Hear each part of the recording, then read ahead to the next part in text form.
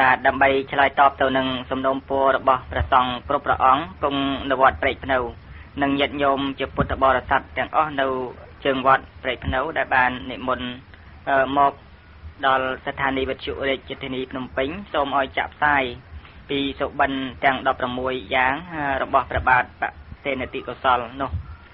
ប្រការណាខ្ញុំបាទក៏បាន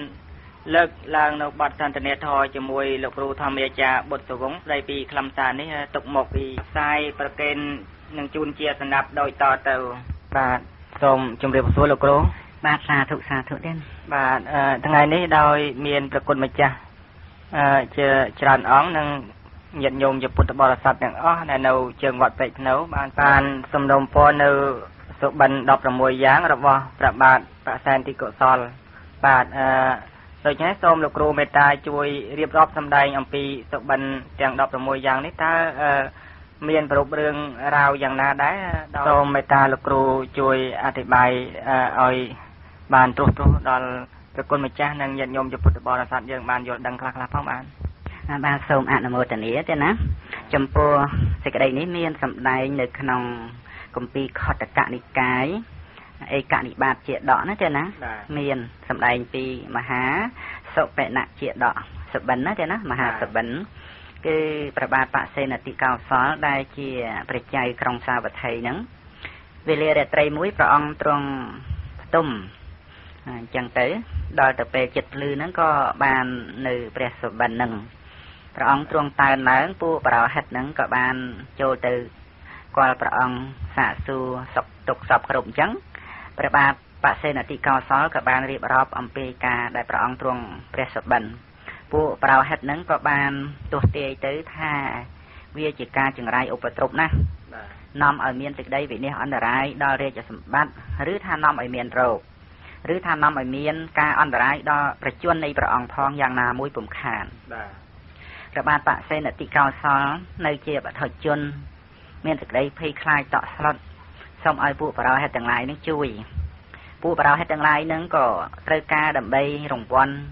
លៀបសក្ការៈដោះស្រាយការចិញ្ចឹមជីវិតនឹងហើយនឹងដើម្បីបំពេញទៅតាមអំណាចលោកភៈណាទេណាបាទក៏បានរៀបចំនៅកិច្ចការដែលជាអកុសលធម៌ទេណាមិនត្រឹមត្រូវតាមទំនួងហេតុផលទេ គឺបានរៀបចំធ្វើនៅការបូជាយ៉ាញ់ ដោយចាប់សត្វទាំងឡាយជើង4ជើង2អីហ្នឹងច្រើនណាស់ដើម្បីនឹងយកទៅសម្រាប់ធ្វើជាពិធីបូជាយ៉ាងហ្នឹងគឺដោយអំណាចការសម្រាប់សត្វក្នុងពេលហ្នឹងដើម្បីជួយរំដោះទុកទោសគ្រោះថ្នាក់នៃព្រះរាជាបាទប៉ុន្តែថាក្នុងពេលនោះអកមហេសីនៃព្រះបាទបសេនតិកោសល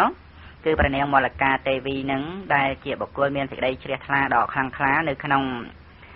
ព្រះពុទ្ធសាសនាណាទេណាប៉ុន្តែព្រះនាងម៉ាលិកានេះក៏នៅក្នុងភាពជាបឋិជនដែរ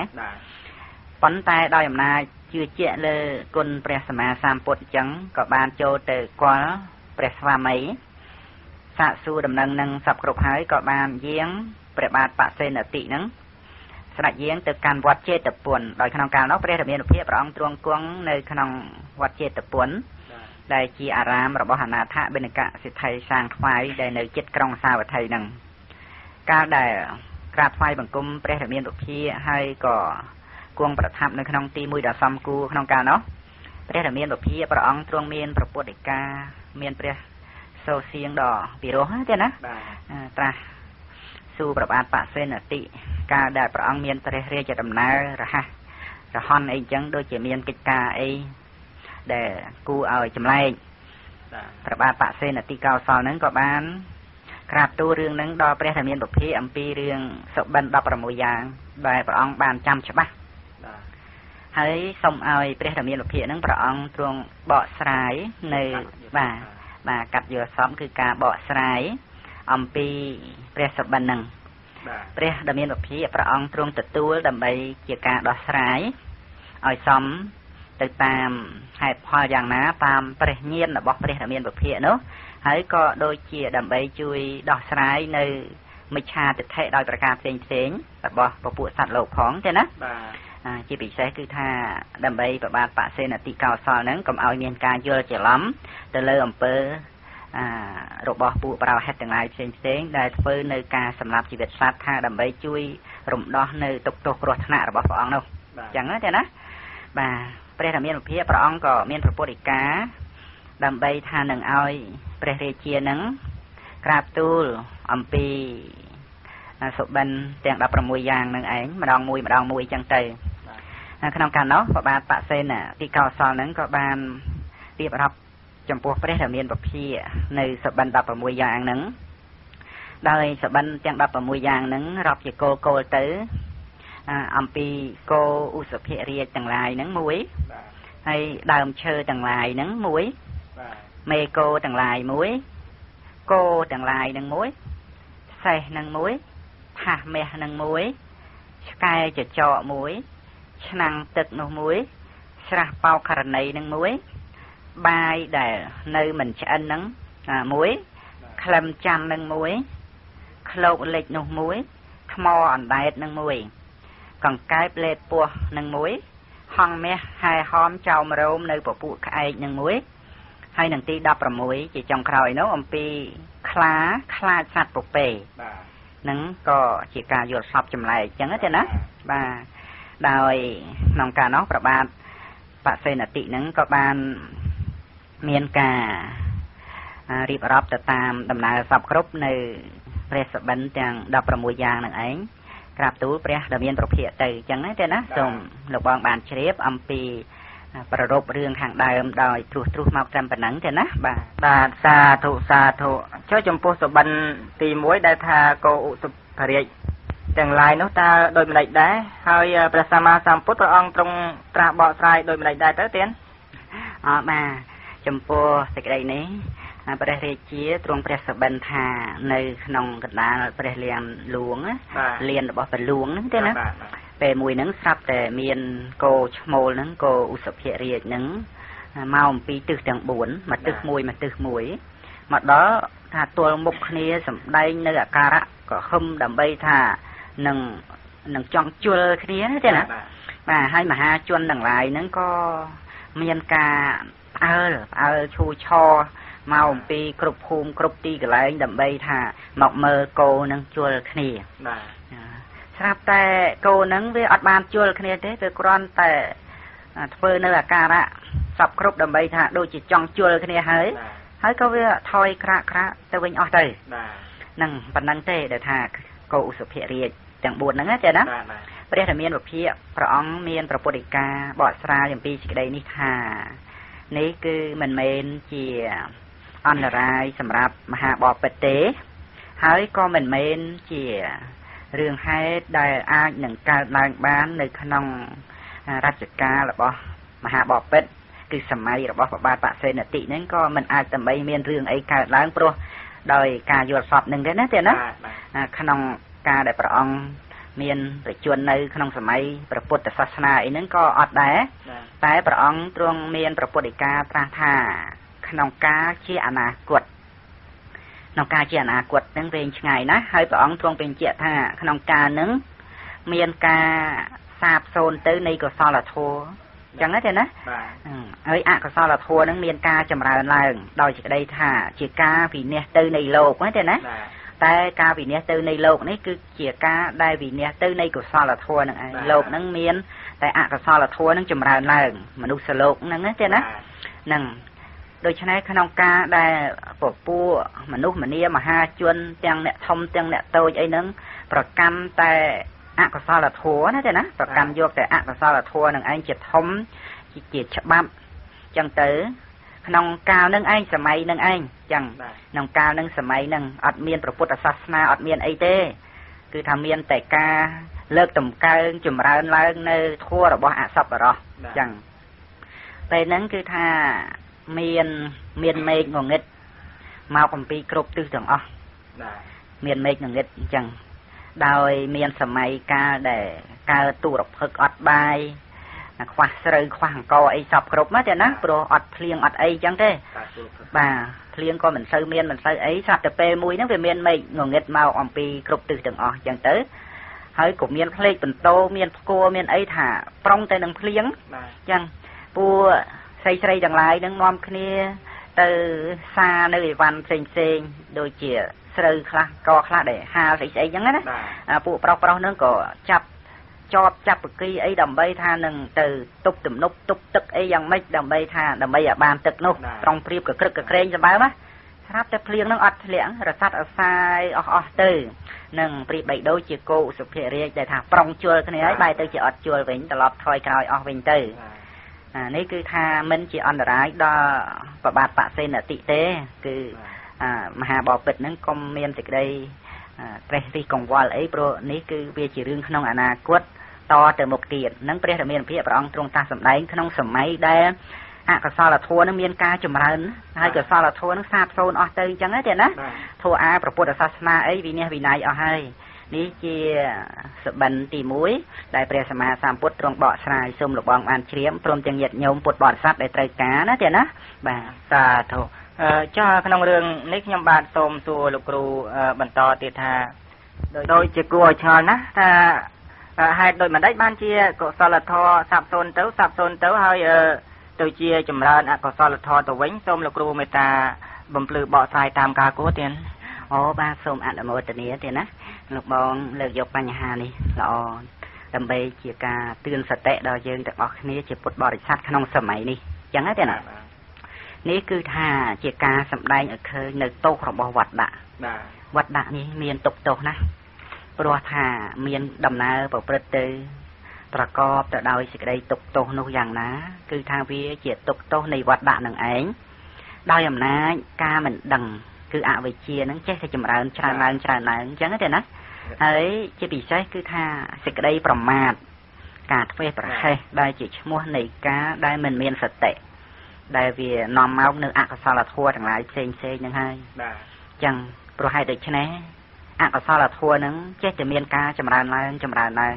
កុសលធម៌ហ្នឹងក៏ចេះតែមានការសាបសូន្យទៅសាបសូន្យទៅបាទ មានតែការចម្រើនអកុសលធម៌ព្រោះសេចក្តីប្រមាទការធ្វេសប្រហែសនេះឯងអញ្ចឹងទេណាបាទនឹងសូមលោកបងបានជ្រាបបាទសាធុខ្ញុំដូចជាមិនតន់អស់ចិត្តសោះលោកគ្រូលោកគ្រូអំបញ្ញមិញឆ្លើយថាជាទោសនៃវត្តដាក់ព្រោះសេចក្តីប្រមាទចុះបើកុំប្រមាទទៅនោះថាមិនបានឬក៏ជាយ៉ាងម៉េចដែរ ហេតុដោយបដិចាំឲ្យមានសេចក្តីប្រមាទតើសេចក្តីនេះយ៉ាងណាដែរទៅលោកគ្រូបាទបាទអាមិនមានអ្នកណាឲ្យសត្វលោកនឹងមានសេចក្តីប្រមាទទេណាទេណាប៉ុន្តែសេចក្តីប្រមាទនៃសត្វលោកនឹងវាត្រូវមានទៅអញ្ចឹងព្រោះហេតុនៃសេចក្តីប្រមាទបាទអានេះបើកុំវាអត់បានទេណាព្រោះវាមានបច្ច័យបាទគឺថារបស់អីតែវាមានបច្ច័យហើយត្រូវត្រូវកើតជាផលឡើងអាហ្នឹង មិនដឹងជាថាគិតកុំយ៉ាងម៉េចទេអញ្ចឹងទេណាបាទអាហ្នឹងគឺវាជាច្បាប់ហេតុផលកុំអត់បានទេព្រោះវាអត់មានជាទូខ្លួនអីយើង ទៅទប់ទៅកុំទៅអីបានអញ្ចឹងទេណារឿងនេះវាមានជាសង្វេគវត្ថុដែលគួរឲ្យយើងជាពុទ្ធបរិស័ទនឹងបានជ្រាបផងដែរយើងគ្រាន់តែពិចារណាមើលយ៉ាងនេះដូចជាសត្វដែលបដិសន្ធិក្នុងអបាយភូមិទេណាអាសត្វដែលបដិសន្ធិក្នុងអបាយភូមិនឹង ត្រូវមានវិបាកកបដិសន្ធិដែលខ្វះបញ្ញាម្ល៉េះហើយវិបាកនេះវាជាអនរាយកធัวត្រូវហាមឃាត់មេផលកុសលធัวនឹងមិនបានចម្រើនបរិបូររហូតឲ្យបានសម្រេចទៅជាមេផលអីទេ ក្នុងកំណើតអបាយភូមិហើយម្យ៉ាងទៀតដោយអំណាចអកុសលវិបាកគឺជាផលដ៏ឆ្អិនរបស់អកុសលកម្មហ្នឹងវាដិតរោលសម្បើមណា មានតែសេចក្តីទុក្ខវេទនាលំបាកខ្លាំងក្លាជាទីបំផុតម្ល៉េះហើយអកុសលវិបាកនេះក៏វាជាបច្ច័យមួយសំខាន់ដែលនាំឲ្យកើតទៅជាបាបអកុសលទាំងឡាយផ្សេងផ្សេងច្រើនច្រើនដោយតោមនោះបដិខៈនេះគ្រាន់តែជាការលើកឧទាហរណ៍បញ្ជាក់អំពីទោសនៃវត្តដាក់ណាទេណាបាទ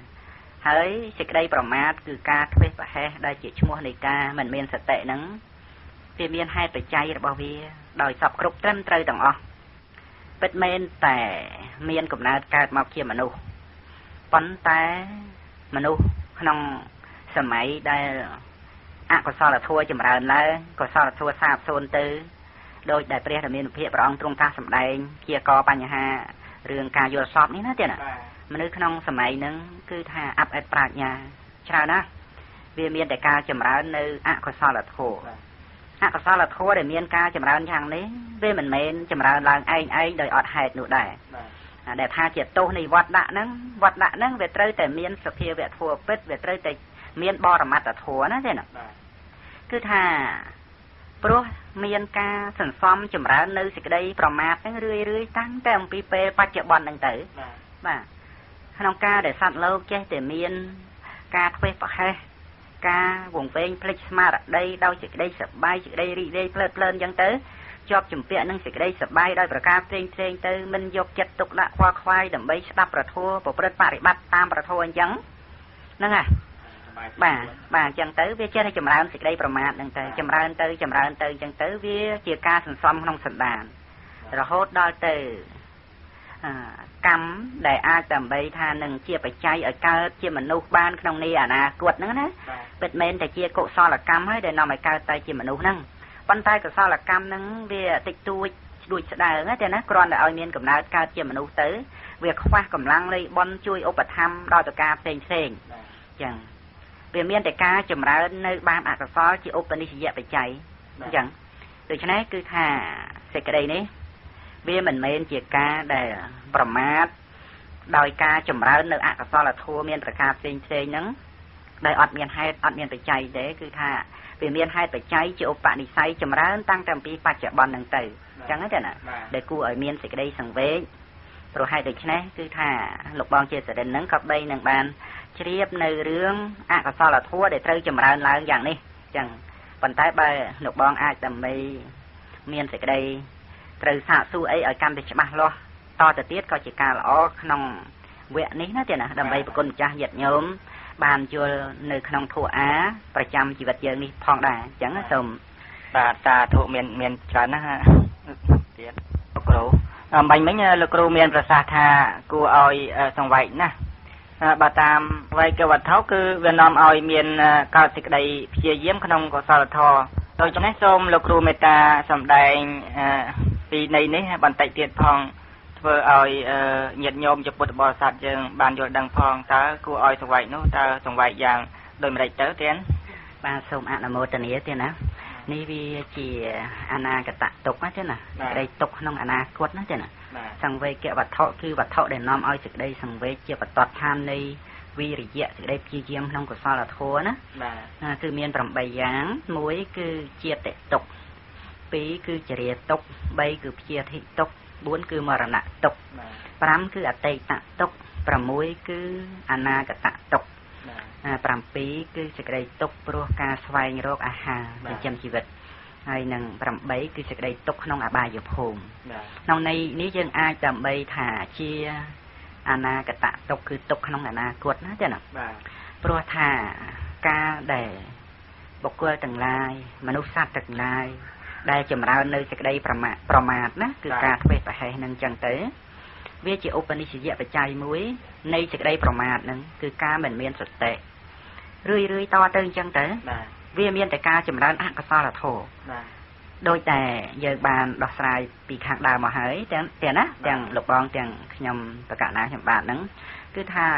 វាមិនមែនអ្នកហ្នឹងជាអ្នកធ្វើអកុសលធម៌នឹងឲ្យទេហើយយើងក៏មិនអាចកុំបានតែរឿងនេះវាមានបច្ច័យរបស់វាគឺវាមានការចម្រើនតាំងពីឥឡូវហ្នឹងទៅហើយតាំងពីអតីតហ្នឹងមកដែរដល់វាមានពូជនៃអកុសលធម៌ហ្នឹងវាចេះតែចម្រើនបន្តិចម្ដងបន្តិចម្ដងទៅអញ្ចឹងទេហើយតែកុសលធម៌ហ្នឹងចេះតែថយទៅ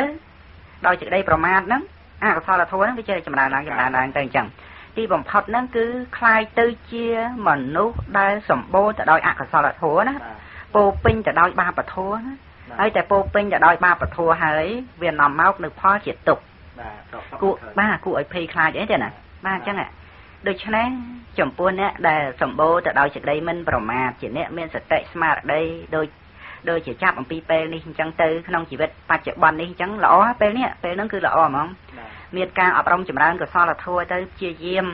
ក្នុងការលះបង់នៅបាបអកុសលធម៌ទៅតាមលំដាប់នៃកុសលចឹងរឿយរឿយទៅ វាអាចជាកុសលនឹងនាំឲ្យមានវិបាកបរិសន្ធិក្នុងសុគតិភពទេវលោកបានអញ្ចឹងទេណាបាទដោយអំណាចកុសលកម្មអញ្ចឹងហើយដោយអំណាចកុសលធម៌ដែលធ្លាប់អប់រំចម្រើនមកព្រោះសេចក្តីមិនប្រមាទនឹងវាជាឧបនិស្សយបច្ច័យ នាំឲ្យមានកុសលធម៌នឹងចេះរីចម្រើនច្រើនឡើងច្រើនឡើងសូម្បីក្នុងសុគតិភពទេវលោកអញ្ចឹងទេណាហើយអាចបានសម្រេចមគ្គផលក្នុងទេវលោកហ្នឹងក៏បានដែរបាទនេះវាដោយឡែកអំពីគ្នាអញ្ចឹងវាមិនមែនជារឿងដែលថាគ្រប់មនុស្សទាំងអស់ក្នុងបច្ចុប្បន្ននេះវាទៅជាមនុស្សអត់ធัวទាំងអស់គ្នានាអនាគតនោះទេមិនមែនទេគឺវាសម្រាប់អ្នកដែលចម្រើនសេចក្តីប្រមាទមានសេចក្តីពេញចិត្តក្នុងអកុសលធម៌ដោយប្រការផ្សេងផ្សេងមិនខ្លាចបាបមិនខ្មាស់បាបនឹងឯង ដែលវាបានដល់នៅសភាពជាមនុស្សដែលចម្រើនទៅដោយបាបអកុសលធម៌និងសេចក្តីទុកជាផលនោះបាទក្នុងសេចក្តីនេះខ្ញុំប្រកាសណាខ្ញុំបានអាចលើកជាឧទាហរណ៍បានណាទេណាឧទាហរណ៍ដូចជាក្នុងវស្សានរដូវគឺជារដូវដែលមានភ្លៀងធ្លាក់អីចឹងទៅ មានអ្នកផ្ទះមួយហ្នឹងមិនបានត្រង់ទឹកទុកទេបាទចឹង ស្រាប់តែដល់ពេលមួយហ្នឹងវារាំង4 5ថ្ងៃអីចឹងទៅសឹងតែរកទឹកបរិភោគទទួលទានមិនមាន ក្នុងពីងក្នុងធុងអីគឺអត់ទាំងអស់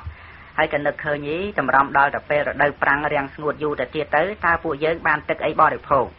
ស្រាប់តែទទួលពេលថ្ងៃនឹងឯងភ្លៀងមួយមេធំធ្លាក់មកក៏នាំគ្នាត្រង់ទឹកភ្លៀងនឹងឯងទុកក្នុងធុងក្នុងពីងក្នុងអាងអីសន្ធឹកសន្ធាប់អញ្ចឹងទេណា ដើម្បីថាឲ្យបានបរិភោគទទួលទានដល់ទៅខែប្រាំងរដូវប្រាំងដែលអត់ភ្លៀងនោះនឹងយ៉ាងណាមិញគឺថាភ្លៀងនេះប្រៀបបានមកជាការសិក្សាព្រះធម៌ការស្ដាប់ព្រះធម៌ណាទេណាហើយនឹងការព្យាយាមប្រព្រឹត្តបរិបត្តិតាមព្រះធម៌នឹងអញ្ចឹងដូច្នេះការដែលយើងមានសេចក្តីសង្វេគថា ការដែលខ្វះកុសលធម៌មានតែអក មានតែអកុសលធម៌ដែលត្រូវចម្រើនឡើងនាអនាគតយ៉ាងនេះណាយើងក្នុងបច្ចុប្បន្ននេះមិនគួរមានសេចក្តីប្រមាថធ្វេសប្រហែសទេបាទត្រូវបំពេញកុសលដូចជាខំប្រឹងដើម្បីត្រង់ទឹកអញ្ចឹងត្រង់ទឹកភ្លៀងទុកនឹងដោយនឹកឃើញថាកុំឲ្យវាខ្វះខាតទៅថ្ងៃមុខមិនចឹងអញ្ចឹងទេណាបាទដូច្នេះគឺថាក្នុងការដែលត្រង់ទឹកភ្លៀងទុកនឹងគឺជាការព្យាយាមស្ដាប់ប្រធัวរៀនប្រធัวហើយនឹងប្រព្រឹត្តបរិបត្តិតាមប្រធัวនឹងឯង ហើយបើសិនជាយើងមិនត្រង់ទឹកភ្លៀងទុកទេដល់តែខែប្រាំងយើងអត់ទឹកភ្លៀងបរិភោគទទួលទានយ៉ាងណាសេចក្តីប្រមាថសេចក្តីធ្វេសប្រហែសមិនស្ដាប់ប្រធัวមិនសិក្សាប្រធัวមិនខ្លាចបាបមិនខ្មាស់បាបមិនប្រព្រឹត្តបរិបត្តិតាមធัวដែលបានស្ដាប់ចេះដឹងក្នុងព្រះពុទ្ធសាសនាមកនឹងឯងដែលវាជាហេតុនាំបណ្ដាលឲ្យคล้ายទៅជាមនុស្សដែលអត់ធัวនាអនាគតកាលដូចជាមនុស្សអត់ទឹកភ្លៀងបរិភោគក្នុងរដូវប្រាំងអញ្ចឹងណាទេណានេះបានថាវាជាសង្វេគវត្ថុអញ្ចឹងអញ្ចឹងសូម លោកបងបានជ្រាបនៅក្នុងបញ្ហានេះណាទេណាបាទបាទសាធុអញ្ចឹងសបិនទី1លោកគ្រូបានបកស្រាយពន្យល់យ៉ាងក្បោះក្បាយមកហើយអញ្ចឹងឥឡូវនេះមកដល់សបិនទី2ដែលថាដើមឈើទាំងឡាយនោះដូចមិនដែរទៅទៀតបាទចំពោះសបិននេះគឺព្រះរាជាសបិនឃើញថា មានដើមឈើដែលដុះឡើងពីផែនដីទេណាដូចជាឧទាហរណ៍ថាដើមក្រូចដើម កលែនដើមសាវម៉ាវមង្ឃុតអីដែលវាធំធំណាស្រាប់តែឃើញថាដើមឈើហ្នឹងដុះពីដីមកបានមកចង្អាមពីចង្អាមមកហាត់អីចឹងទៅស្រាប់តែចេញផ្កាចេញផ្លែបានពីតូចតូចទៀតទៀតនឹងអញ្ចឹងនឹងជាសបិនទី2ដែលថាដើមឈើនឹងអញ្ចឹងទេណាសាធុអឺបាទអញ្ចឹងគួរឲ្យអស្ចារ្យណាស់លោកគ្រូចុះព្រះសម្មាសម្ពុទ្ធព្រះអង្គទ្រង់ត្រាស់កាត់សបិននេះដោយមិនដែរទៅក្នុងសបិនទី2នេះបាទសូមលោកគ្រូមេត្តា ជួយបកស្រាយបំភ្លឺទៅទៀតបាទសូមអនុមោទនាទេណាព្រះសម្មាសម្ពុទ្ធព្រះអង្គជាស្ដេចនៃអ្នកប្រាជ្ញទេណាព្រះអង្គសព្វញុតិញ្ញាណព្រះអង្គទ្រង់ជ្រាបច្បាស់នៅអតីតអនាគតបច្ចុប្បន្នដោយសពគ្រប់ទាំងអស់មិនមានទស្សនៈព្រះអង្គក៏ទ្រង់ជាកទ្រង់ត្រាស់សម្ដែងថានាអនាគតកាលដែរដូចជាក្នុងសម័យមនុស្សដែល ដែលអត់ធัวហ្នឹងមានតែអកុសលធัวចម្រើនឡើងកុសលធัวសាបសូន្យទៅហ្នឹងអញ្ចឹងទេណាបាទក្នុងសម័យហ្នឹងគឺថាកាមរាគៈហ្នឹងរីកចម្រើនច្រើនណាស់ដុះដាលសម្បើមណាស់ម្ល៉េះហើយក្មេងស្រីដែលមិនទាន់ពេញវ័យអីដូចមនុស្សយើងក្នុងសម័យនេះទេនៅក្មេងក្មេងតូចតូចហ្នឹងទេណាស្រាប់តែចេះមានគោមានកូនមានអីប្រសេកប្រសាចតាំងពីនៅតូចតូចល្មិចល្មក់អីចឹងទៅនឹងព្រះសម្មាសម្ពុទ្ធនោះទ្រង់ ត្រាស់សម្ដែងអញ្ចឹងទេណាសូមលបងបានជ្រាបព្រមទាំងគុណម្ចាស់ញាតិញោមបាទសាធុបាទក្នុងរឿងសបិនទី2នេះតើមានរឿងដែលគួរសង្វេគដែរឬទេលោកគ្រូអើអល្អទៀតណាចំពោះបញ្ហានេះគួរឲ្យសង្វេគទៀតគួរឲ្យសង្វេគពីព្រោះក៏ជាសម័យមនុស្សដែលសម្បូរទៅដោយអកុសលធម៌នឹងឯងដែលខ្វះកុសលធម៌ណាទេណាហើយជាពិសេសដោយតែព្រះអង្គទ្រង់តាសម្ដែងថា មានកាមរាគៈចម្រើនខ្លាំងក្លាអានេះដូចជាថាខ្មោចបិសាចកាមរាគៈជាដើមនឹងវាវាធាត់ធំខ្លាំងក្លាដែលគួរឲ្យយើងព្រឺរោមព្រឺស្បែកចឹងដែរទេណាតាមដែលបានសម្ដែងមកហើយខ្មោចព្រាយគឺកិលេសក្នុងការសន្តានាមុនមុនហ្នឹងចឹងទេណាដូច្នេះគួរឲ្យយើងមានសេចក្តីសង្វេគក្នុងសង្សារវដ្តដែលមានការប្រព្រឹត្តទៅពោពេញទៅដោយបាបអកុសលធម៌ដែលវាជាឬគល់វាជាហេតុនៃសេចក្តីទុក្ខលំបាកយ៉ាងនេះណាអញ្ចឹងវាជាសង្វេគវត្ថុណាទេណាព្រះសម្មាសម្ពុទ្ធសម្ដែងមកសិតតែដើម្បីដាស់តឿនសតិសម្បជញ្ញៈឲ្យប្រពនៅសេចក្តីព្យាយាមអញ្ចឹងសូមលបងបានជ្រាបទេណាសាធុបាទដោយពេលវេលាមានកំណត់អឺចំពោះការសន្ទនាធរប្រកាសរណាខ្ញុំបាទជាមួយលោកគ្រូនេះពេលនេះមិនតាន់ចប់នឹងសបិនពីទី2ផងបាទហើយចំពោះសបិនទី2រហូតដល់ទី16 ខ្ញុំប្រកាសណានឹងធ្វើបទសន្ទនាធរជាមួយលោកគ្រូធម្មាចារ្យបន្តទៅទៀតហើយចំពោះបនចូលព្រះវស្សាក៏ខ្ញុំនឹងធ្វើសន្ទនាជាមួយលោកគ្រូនៅថ្ងៃ100ស្អែកនេះដែរបាទសូមរងចាំដោយមេត្រីសូមអរគុណទៅហ្នឹងគ្រប់ភពទាំង3ឬក៏តែក្នុងមនុស្សលោកយើងនេះទេលោកគ្រូបាទអដែលមានសម្ដែងនៅក្នុងអត្ថកថា ក្នុងការសម្ដែងពីរឿងភិក្ខុនីសង្ឃអីជាដើមហ្នឹងទេណាមានសម្ដែងថាក្នុង1000ឆ្នាំបន្តពីព្រះអង្គបរិនិព្វានទៅហ្នឹងមានព្រះអរហន្តបដិសម្ពិទាណាចាណាហើយក្នុងរយៈកាលមក2000ហ្នឹងមានបាទនេះល្ងាចថ្ងៃនេះប្រកាសណាខ្ញុំបានក៏សូមលើកយកបទសន្ទនាធរដីពីសុបិន16យ៉ាងដែលលោកគ្រូបានបកស្រាយសន្ទនាជាមួយខ្ញុំបាទកាលពី ពេលមុនមុននោះបកស្រាយបន្តទៀតដូចតទៅ បាទកាលពីលើកមុនលោកគ្រូបានសម្ដែងដល់សុបិនទី2ហើយក៏ពុំតាន់បកស្រាយជាប់សពគ្រប់នៅឡើយដែរដូច្នេះនាពេលនេះខ្ញុំសូមជម្រាបសួរលោកគ្រូបន្តទៀតបន្ទាប់ពីលោកគ្រូធ្វើការបកស្រាយពីរឿងគួរឲ្យសង្វេគនោះរួចមកបាទនៅក្នុងការព្យាករសុបិនទី2នៃព្រះសម្មាសម្ពុទ្ធដែលថា ក្មេងស្រីតូចតូចមានកមានកូននោះតើមានឯងឯងឬក៏មានប្តីអញ្ចឹងដែរទេលោកគ្រូអើបាទទៅតាមបាទគម្ពីរធោអាហ្នឹងចាណាព្រះអង្គទ្រង់ត្រាស់សម្ដែងថាពពួកសត្វក្នុងនាកាលអនាគតដែលមានអាយុតិចតិចមានអាយុខ្លីនេះទេណាច្រើនទៅដោយរាគៈគឺទាំងបរោះទាំងស្ត្រីទេណាដូច្នេះក្នុងការដែលពួកស្ត្រី មានការចម្រើនទៅដោយបុត្រធីតាតាំងអំពីក្មេងៗហ្នឹងនោះគឺថាមានស្វាមីមានប្តីអីចឹងទេណាបាទមិនមែនមានឯងឯងទេនេះគឺថាវានាំគ្នាចម្រើនទៅដោយកិលេសហ្នឹងតាំងតាំងពីនៅក្មេងហើយក៏ឆាប់ងាប់ដែរអាយុនឹងក៏ខ្លីក្នុងសម័យនឹងអញ្ចឹងទេណាបាទគួរឲ្យសង្វេគណាទេសូមលោកបងបានជ្រាបបាទសាធុអឺខ្ញុំបាទបានស្ដាប់លោកគ្រូបកស្រាយតាមកម្ពីក្បួនច្បាប់ច្បាស់លាស់យ៉ាងនេះនោះ ខ្ញុំដូចជាមានសេចក្តីសង្វេគចំពោះអឺមនុស្សនាពេលអនាគតកាលខាងមុខនោះណាបាទហើយមួយយ៉ាងទៀតដំណើរជីវិតរបស់សត្វលោកបច្ចុប្បន្ននេះក៏មានដំណើរពោះទៅរកអនាគតនឹងឯងដែរលោកគ្រូមិនចឹងទេចឹងហើយតែយើងគឺថាមានដំណើរប្រព្រឹត្តទៅរកអនាគតដោយអំណាចសង្សារវត្តដែលមានចុតិបដិសន្ធិហ្នឹងទេបាទបាទបើអញ្ចឹងខ្ញុំសូមសួរលោកគ្រូថាព្រះពុទ្ធសាសនាដែល អន្តរធានសັບសូនក្នុងពុទ្ធសករាជ5000ព្រះវស្សាខាងមុខដែលព្រះអង្គបានប្រដេស្ថាននោះតើសັບសូនគ្រប់ភពទាំង3ឬក៏តែក្នុងមនុស្សលោកយើងនេះទេលោកគ្រូអឺចំពោះព្រះពុទ្ធសាសនាទេណាដែលអាចតាំងនៅបាន5000ព្រះវស្សានោះគឺទៅតាមអំណាចកម្រិតនៃការប្រព្រឹត្តបរិបត្តិរបស់ពុទ្ធបរិស័ទ ដែលចេះតែមានការថយចុះនៅសេចក្តីចម្រើនផ្នែកខាងកុសលធម៌និងគុណធម៌ទេណារហូតដល់អកុសលធម៌នឹងចម្រើនឡើងផ្ដាច់កុសលធម៌ហ្នឹងក៏សាបសូន្យអស់ទៅ ទាំងព្រះពុទ្ធសាសនាក៏សាបសូន្យអន្តរធានមានសម្ដែងនៅក្នុងអត្ថកថាទេណាដែលខ្ញុំបកណាខ្ញុំបាទធ្លាប់សិក្សាមកដែលបានបកស្រាយអំពីរឿងភិក្ខុនីអីដែលអាចដើម្បីថិតនៅបានយ៉ាងណាក្នុងពុទ្ធសាសនានោះ តែលោកបានបកស្រាយថា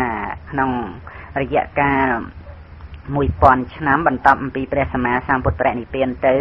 ក្នុងកំឡុងនោះគឺនៅមានព្រះអរហន្តដែលមានបដិសម្ពិទាបាទហើយពី1000មក2000ហ្នឹងមានព្រះអរហន្តដែរតែមិនមានបដិសម្ពិទាមិនមានអភិញ្ញាទេគ្រាន់តែលោកស្ងួតកិលេសអស់អាសវៈអញ្ចឹងទេណា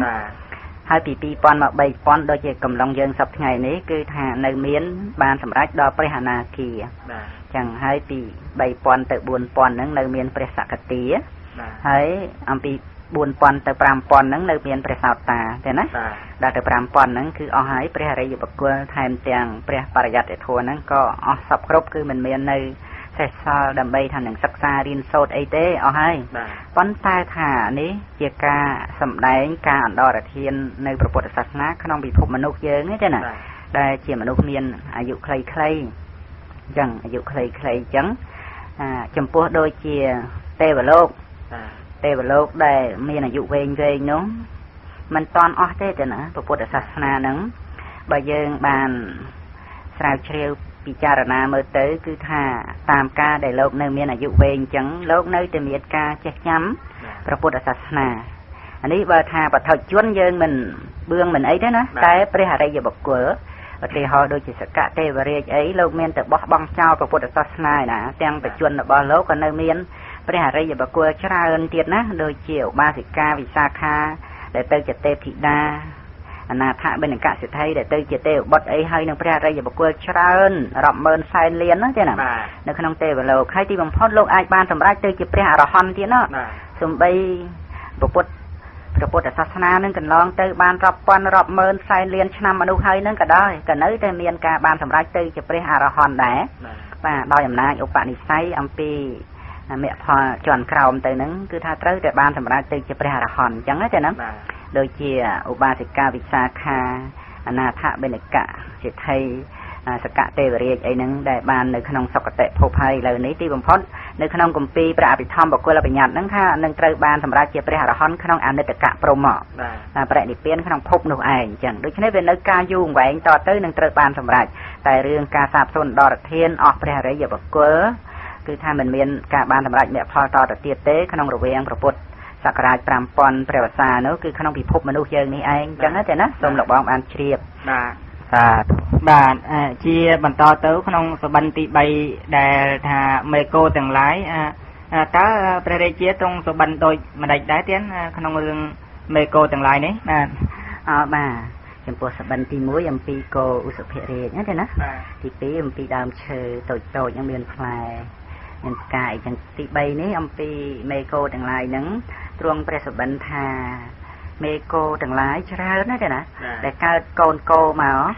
ហើយក្នុងថ្ងៃនឹងឯងច្រាប់តែមេកោនឹងវាទៅបើឲ្យដោះកូនកោទៅវិញវាផ្ទុយបញ្ច្រាស់គ្នាអញ្ចឹងណាណាអញ្ចឹងហ្នឹងគឺជាសបិនទី3ចឹងណាបាទអត់ដំណើរបាទគួរឲ្យចម្លែកមែនបាទអឺហើយនឹងគួរឲ្យចង់ដឹង តទៅទៀតណាលោកគ្រូថាតើព្រះដ៏មានប្រភាព្រះអង្គទ្រង់បកស្រាយដូចម្ដេចដែរសូមលោកគ្រូសំដែងរៀបរាប់តាមការគួរដល់ប្រគុណម្ចាស់និងញាតិញោមពុទ្ធបរិស័ទយើងបានយល់ដឹងផងទៀតបាទបាទបាទក្នុងនេះក៏ព្រះអង្គទ្រង់ត្រាស់សម្ដែងនៃអនាគតកាលចឹងដែរចឹងណាគឺអនាគតអំពីព្រះអង្គចឹងណាគឺព្រះអង្គទ្រង់សម្ដែងថាអនាគតនឹងប៉ុន្តែព្រះអង្គ សម្ដែងបញ្ជាក់ថាក្នុងសម័យដែលមនុស្សខ្វះខ្វះមនុស្សធម៌ណាចាណាខ្វះធម៌ខ្វះវិន័យខ្វះការចេះដឹងមិនមានច្បាប់ទម្លាប់ត្រឹមត្រូវមិនមានសัพបរិស័ទធម៌មិនមានធម៌របស់សัพបរោះមិនមានអរិយធម៌អីហ្នឹងណាចាហើយចំពោះកូនចៅទាំងឡាយហ្នឹងខ្វះការគោរពដល់ចាស់ប្រធាចាខ្វះការគោរពដល់រៀមច្បងក្នុងតកូល ហើយជាពិសេសហ្នឹងគឺมันមានការគោរពដល់មេដាបិតាទេអត់មិនបានចាត់ទុកថាមេដាបិតាជាអ្នកមានគុណអីនោះយ៉ាងណាទេហើយបាទអញ្ចឹងទេសម័យហ្នឹងគឺថាវាត្រូវវិនិច្ឆ័យអន្តរាយនៅកុសលធម៌ទៅណាវាទៅជាផ្ទុយគ្នាណាទេណាបាទបាទផ្ទុយគ្នាអំពីការចម្រើនកុសលធម៌ហ្នឹងវាទៅជាចម្រើនអកុសលធម៌ទៅវិញហើយព្រះអង្គទ្រង់ការសម្ដែងដោយក្នុងន័យថា ក្នុងកាលដែលមេដាបេដាដែលបាន បង្កើតកូនចៅអីចិញ្ចឹមកូនចៅឲ្យរស់រានមានជីវិតអីចឹងទៅហើយដល់តែមេដាបេដានឹងចាស់ចឹងមិនអាចដើម្បីថានឹងស្វែងមុខរបរអីរកចិញ្ចឹមជីវិតអីកើតទេចឹងហើយក៏បានទៅអាស្រ័យពុំអ្នកនឹងកូននឹងចៅនឹងគ្រាន់ដើម្បីតែរស់នឹងចឹងហើយតែកូនចៅនឹងគឺថាយកចិត្តទុកដាក់ចិញ្ចឹមមេដាបិតានឹងខ្លះមិនចិញ្ចឹមខ្លះ នេះវាមិនមែនជារបៀបដើម្បីជាការដឹងគុណអីឪពុកម្ដាយទេអញ្ចឹងទេណាគ្រាន់តែថាជាការមួយក្នុងការដែលកូនចៅនឹងចិញ្ចឹមគាត់នឹងគ្រាន់តែថាដោយគាត់បានចូលមកពំនាក់អាស្រ័យឬដូចជាការសុំទានឬថាដូចជាមកជាខ្ញុំបំរើអីនៅជាមួយដើម្បីនឹងជួយមើលកូនចៅថែទាំទ្រព្យសម្បត្តិឬបំរើកិច្ចការងារអីបន្តិចបន្តួចចាំផ្ទះអីចឹងទៅ បោកផ្ទះអីចឹងទៅក៏បាននៅការចិញ្ចឹមជីវិតរស់ណារស់នៅជាមួយនឹងកូននឹងបានអញ្ចឹងនឹងបានថាវាប្រៀបដូចជាមេគោហ្នឹងវាត្រឡប់មកបើកដោះកូនគោទៅវិញអញ្ចឹងទេណានឹងវាទៅជាឪពុកម្ដាយហ្នឹងគ្មានគុណគ្មានកណោបអាការៈអីអញ្ចឹងទៅវិញទៅប៉ុន្តែតាមពិតគុណគឺនៅតែគុណមានអញ្ចឹងតែមកពីកូនហ្នឹងគឺថាបំបត្តិចោលអស់ ដោយមខការរមើលគុណដោយអវិជ្ជាការមិនដឹងសេចក្តីពិតក្នុងគុណក្នុងទោសនឹងអញ្ចឹងទេណាបាទសូមលបងបានជ្រាបសាធុបាទសាធុសាធុប្រសាណាស់ទៀនតែខ្ញុំចង់ឲ្យ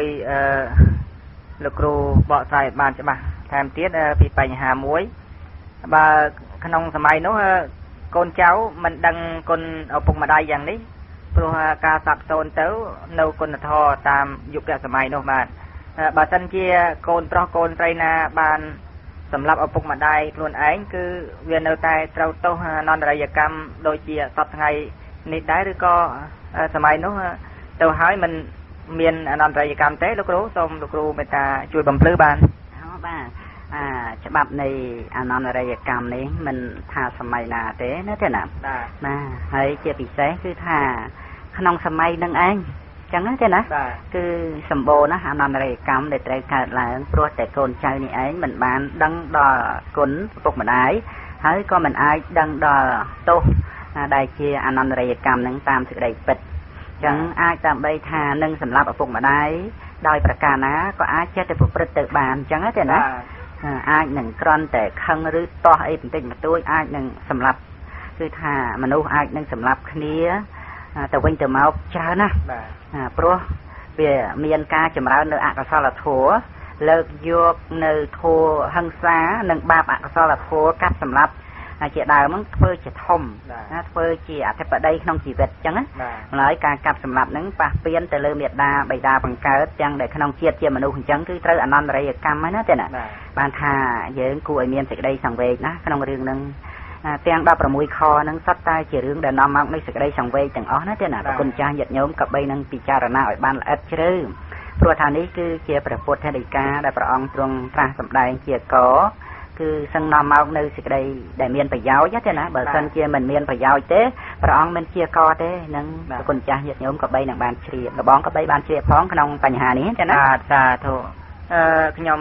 ដាប់អឺ ទៅពិចារណាទៅគួរឲ្យចង់ជម្រាបសួរលោកគ្រូថែមទៀតដែរថាសុបិនរបស់ព្រះបាទបសែនទីកុសលក្នុង16ខនោះវាអាចនាំឲ្យកើតនៅសេចក្តីពិតនៅត្រូវទៅតាមព្រឹត្តិការណ៍នាអនាគតកាលតើមកអំពីហេតុអ្វីដែរលោកគ្រូបានជាយល់សពឆត់យ៉ាងនេះឬក៏ឲ្យតែយល់សពសុទ្ធតែឆត់ទាំងអស់បាទសូមលោកគ្រូ ជួយបំភ្លឺត្រង់កន្លែងនេះចែកទៀនផងបាទអើបាទអាមិនមែនឲ្យតែយល់សពសុទ្ធតែឆត់ទាំងអស់ទេទេណាបាទមានសម្ដែងមានមានសម្ដែងខ្ញុំកណាខ្ញុំបាទធ្លាប់ឃើញមានក្នុងអត្ថកថាកន្លែងផ្សេងផ្សេងទៀតដូចជានៅក្នុងសុសុបនៈសោតសោតដែលសម្ដែងអំពីសុបិនដែរមាននៅក្នុងអង្គុត្តរនិកាយបញ្ញកនិបាតណាទេណាដែលសម្ដែងអំពី ព្រះសុបិនរបស់ព្រះបរមពុរិស័ទមុននឹងត្រាស់ដឹង5ប្រការអីចឹងទេណាហើយនឹងដូចជាសុបិនរបស់ព្រះនាងសរិយមហានិយាដែលជាព្រះពុទ្ធមេត្តាអីដែលមុននឹងប្រសូតព្រះបរមពុរិស័ទក្នុងកាលព្រះបរមពុរិស័ទចុះចាកតុសិតទេវលោកបរិសន្ធិក្នុងគួរណាសិតតែមានព្រះសុបិនហើយអាចដើម្បីជាសេចក្តីពិតក្នុងនាអនាគតអញ្ចឹងណាចាណា ត្រង់សេចក្តីនេះក្នុងអត្ថកថានឹងលោកសម្ដែងថាដែលជាបុព្វនិមិត្តណាចាណាព្រោះបបកម្មដែលបានធ្វើហើយបបកម្មហ្នឹងគឺអំពើខាងដើម តែវាជាកុសលកម្មទេណាអំពើដែលជាកុសលកម្មហ្នឹងវានាំឲ្យកើតទៅជាមានការយល់សពឡើងអាចនឹងប្រាប់សេចក្តីពិតយ៉ាងណា ក្នុងនាអនាគតកាលនឹងបានអញ្ចឹងណាអាហ្នឹងគឺនាំឲ្យមានការយល់សពនឹងឃើញថា ឆត់តាមការដែលយល់សពនឹងហើយយល់សពដោយអំណាចធាតកម្រើកអីចឹងវាមិនអាចដើម្បីនឹងពិតទៅបានទេពីព្រោះជួនកាលយើងទទួលទានអាហារឆ្អែតអីទៅវាតឹងពោះអីទៅទទួលទានដំណេកលក់ទៅស្រាប់តែយល់សពឃើញដូចជាអាអ្នកណាមកវាយអីវាយតប់អីឬក៏អ្នកណាមកចាក់អីឬក៏ធ្លាយពោះអីឧទាហរណ៍ចឹងចាណាអាហ្នឹងវាដោយសារធាតកម្រើកវាអត់ឆត់ទេបាទ ហើយហើយច្រើនយ៉ាងណាជួនកាលអមនុស្សឲ្យយល់សពដោយការស្អប់ការស្រឡាញ់អីយ៉ាងម៉េចទៅក៏វាមិនអាចដើម្បីត្រូវទៅបានដែរ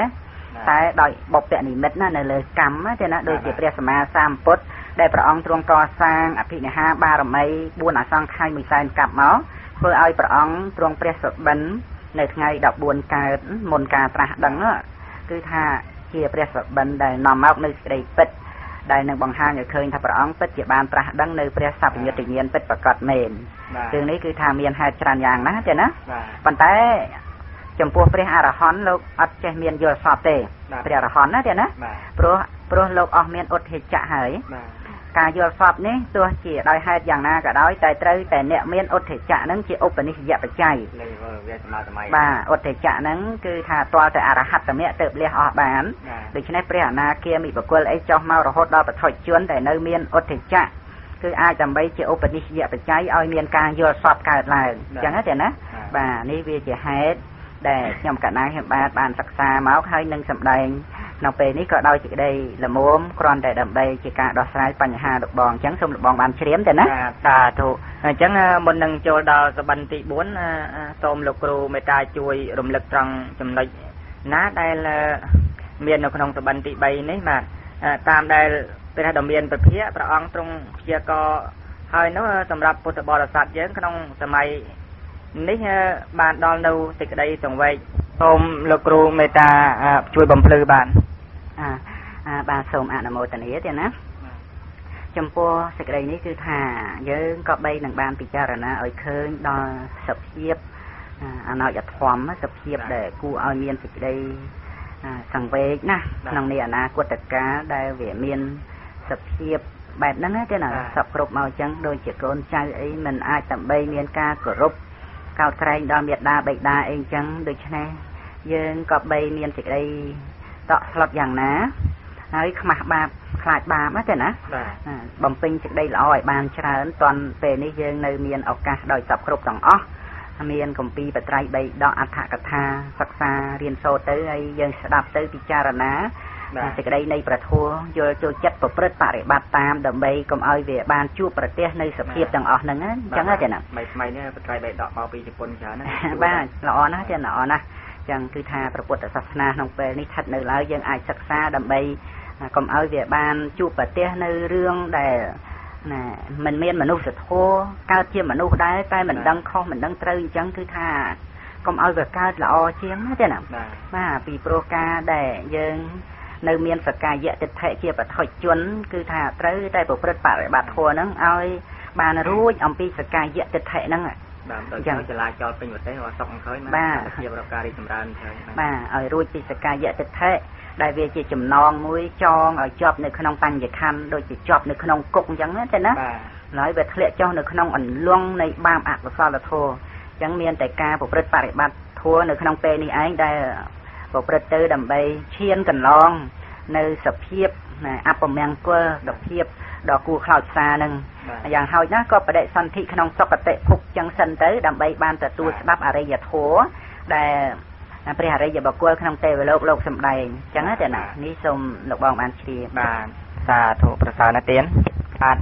ក្នុងសបិនទី4ដែលថាគោទាំងឡាយតើព្រះជាសបិនឃើញគោទាំងឡាយនោះដោយតើគោនោះដូចម្ដេចទៀតហើយលោកគ្រូបាទ បាទលើកមុននោះគោដែរទេណាតែជាគោឧសភរាជហើយណែមេគោបើដោះកូនគោអីចឹងទេណាប៉ុន្តែក្នុងព្រះសបិនទី4នេះ គឺព្រះរាជាទ្រង់ព្រះសបិនឃើញពពួកជនទាំងឡាយនឹងឯង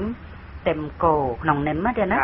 ប៉ុន្តែមិនយកគោដែលពេញកម្លាំងទៅเต็มទេយកគោតូចតូចបាទគោដែលវាអត់មានកម្លាំងណា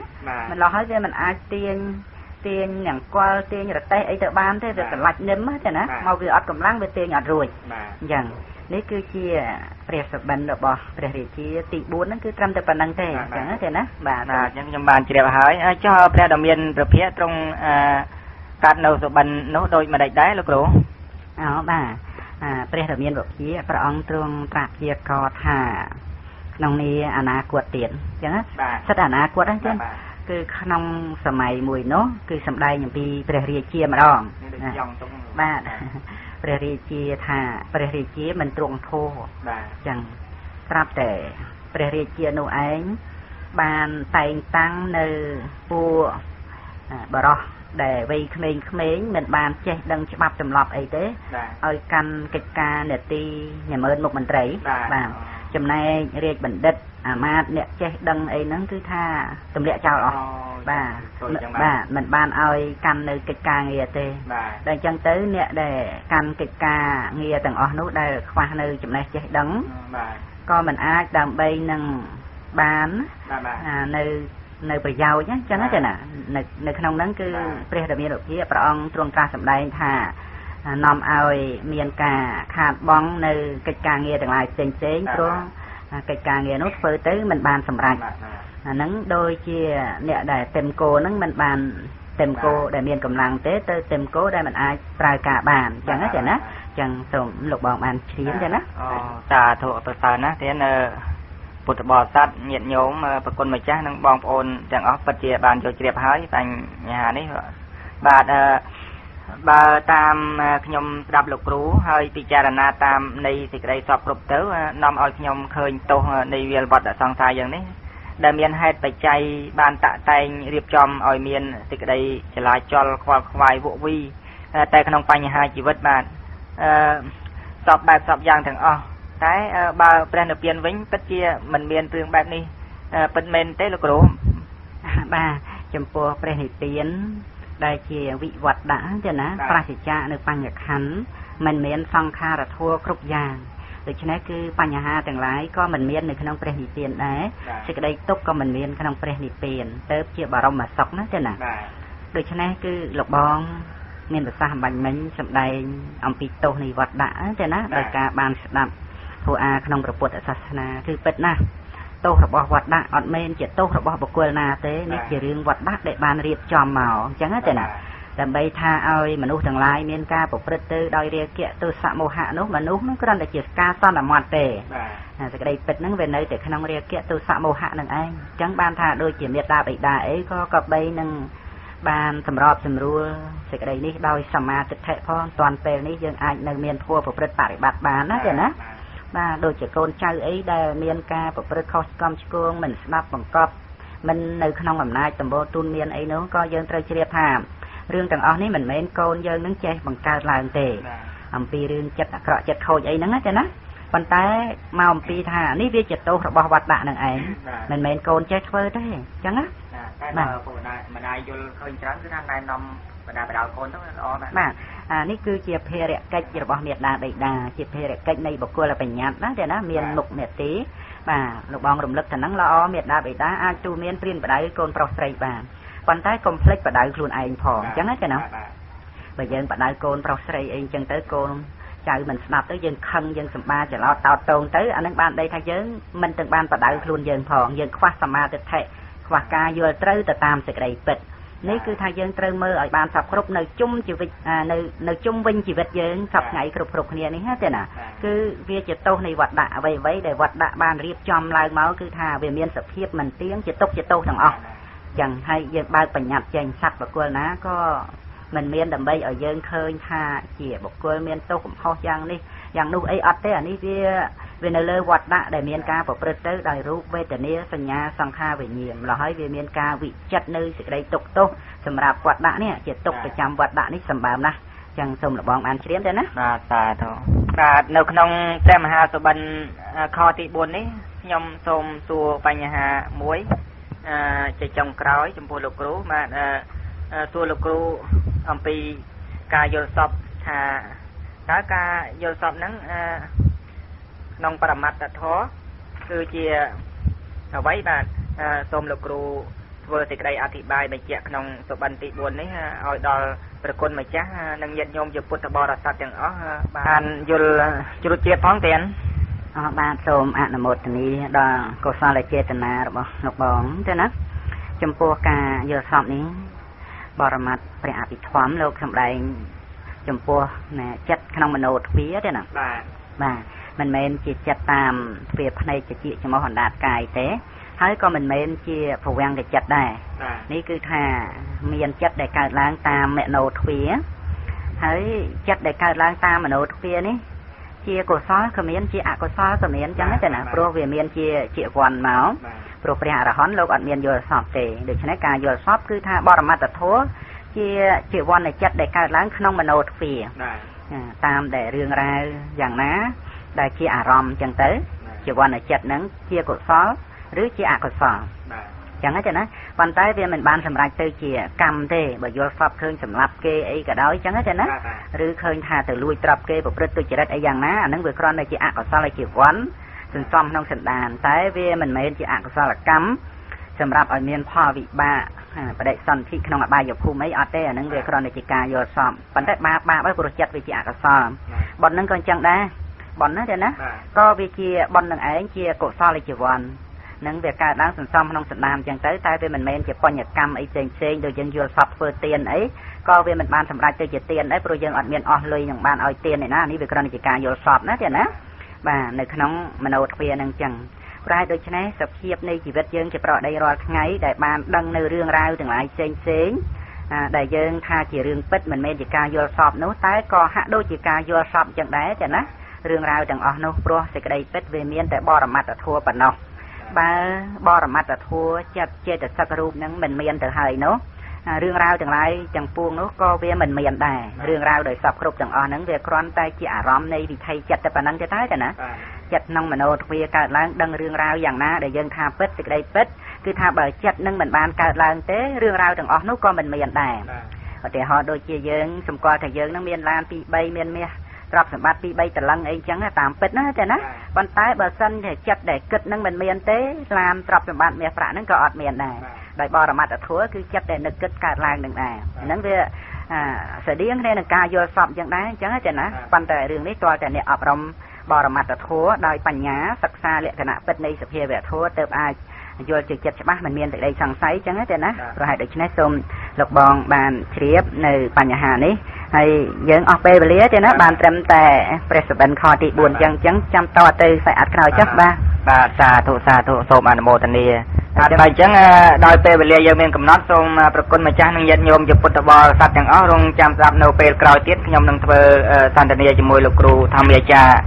បន្តនៅពេលក្រោយបាទសូមគោរពលា បាទនាថ្ងៃនេះប្រកាសណាខ្ញុំបាទនឹងសូមលើកយកបទសន្ទនាធរជាមួយលោកគ្រូធម្មអាចារ្យបុត្រសវងស្ដីពីសុបិនរបស់ព្រះបាទបសែនទីកុសលចាប់ពីខទី5បន្តផ្សាយជូនប្រកេនជាសម្ដាប់ដូចតទៅបាទសូមជម្រាបសួរលោកគ្រូ បាទសាធុសាធុទេបាទបាទអឺកាលពីលើកមុននោះលោកគ្រូលោកគ្រូបានបកស្រាយនៅសុបិនរបស់ព្រះបាទបសែនទីកុសលដល់ខទី4បាទបើដូច្នេះក្នុងពេលនេះប្រកាសណាខ្ញុំបាទនឹងសូមសន្ទនាជាមួយលោកគ្រូពីខទី5តទៅទៀតបាទបាទអឺចំពោះសុបិនខទី5អំពីសេះនោះតើដូចម្ដេចដែរលោកគ្រូ អរបាទសូមអនុមោទនាទេណាចំពោះព្រះរាជា ដែលទ្រង់ព្រះសុបិនឃើញសេះនោះគឺ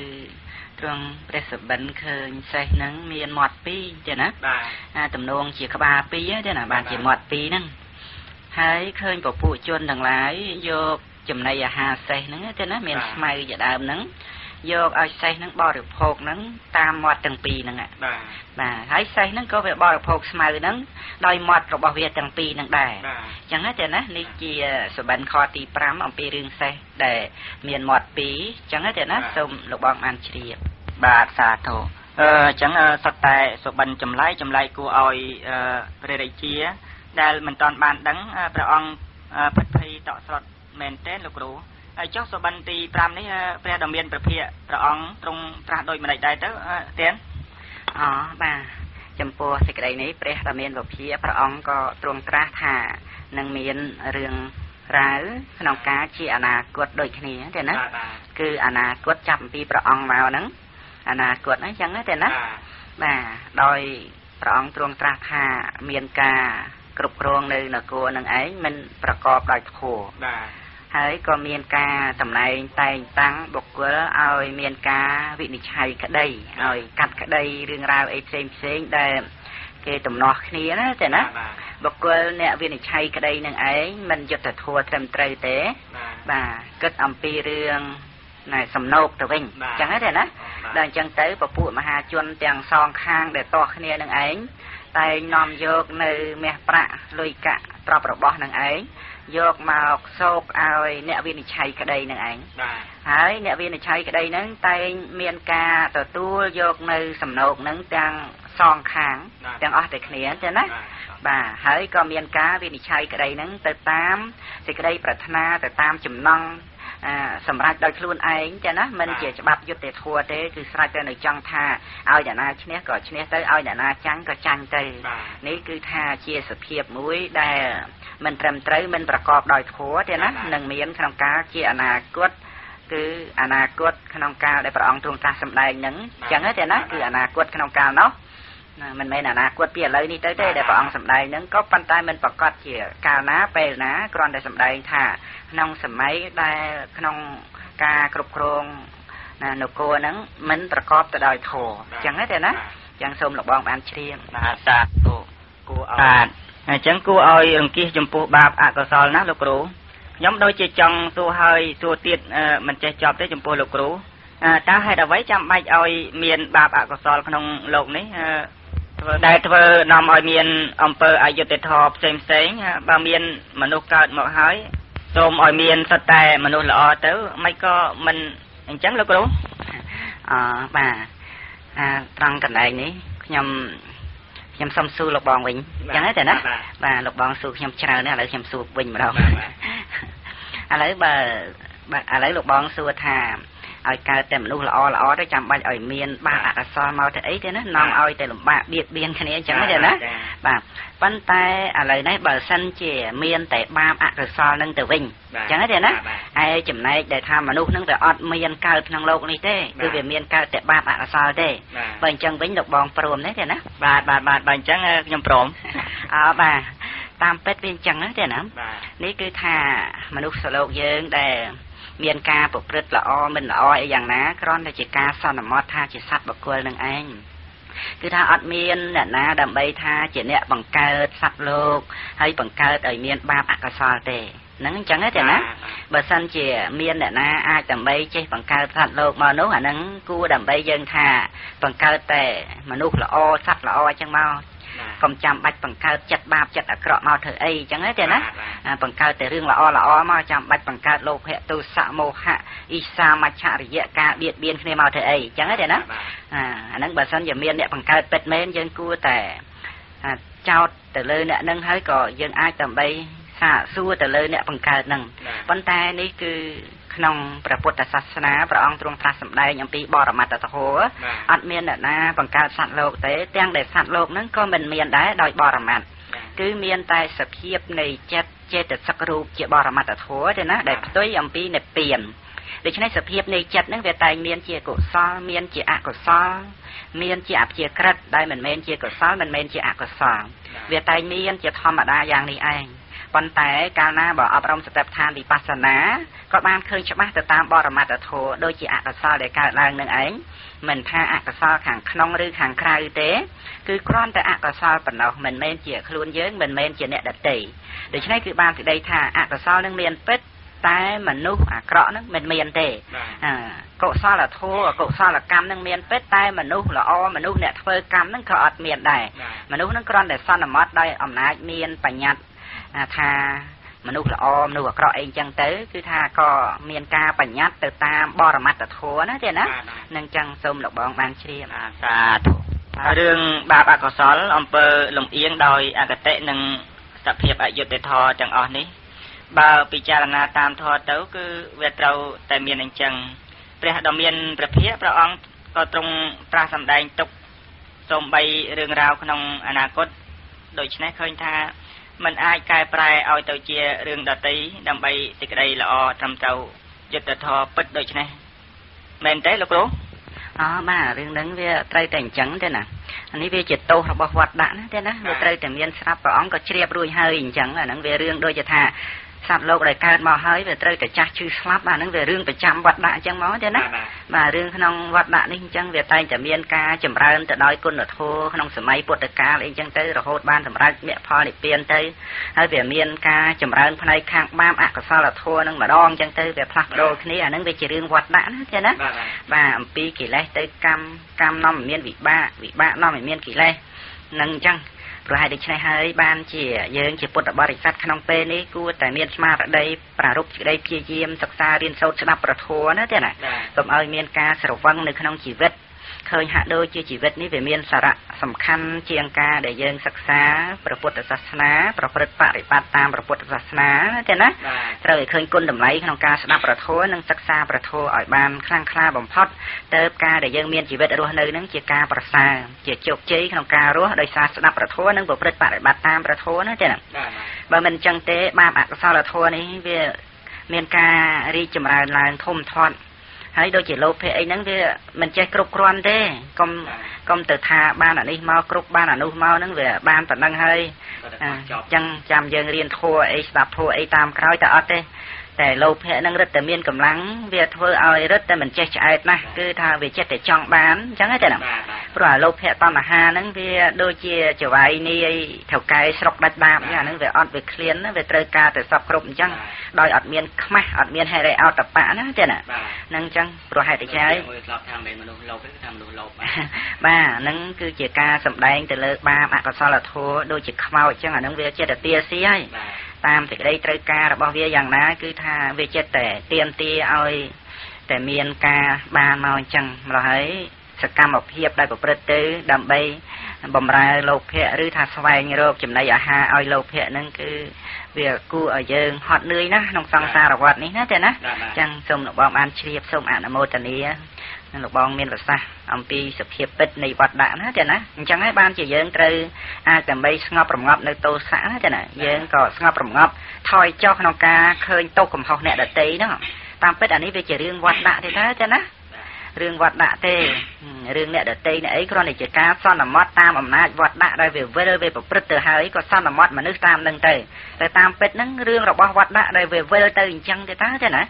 ចឹងនឹងល្អតែកាលណាយើងឃើញទោសនៃវត្តដាក់យើងអាចរួចខ្លួនបានមានចិត្តតិចស្ងប់រងាប់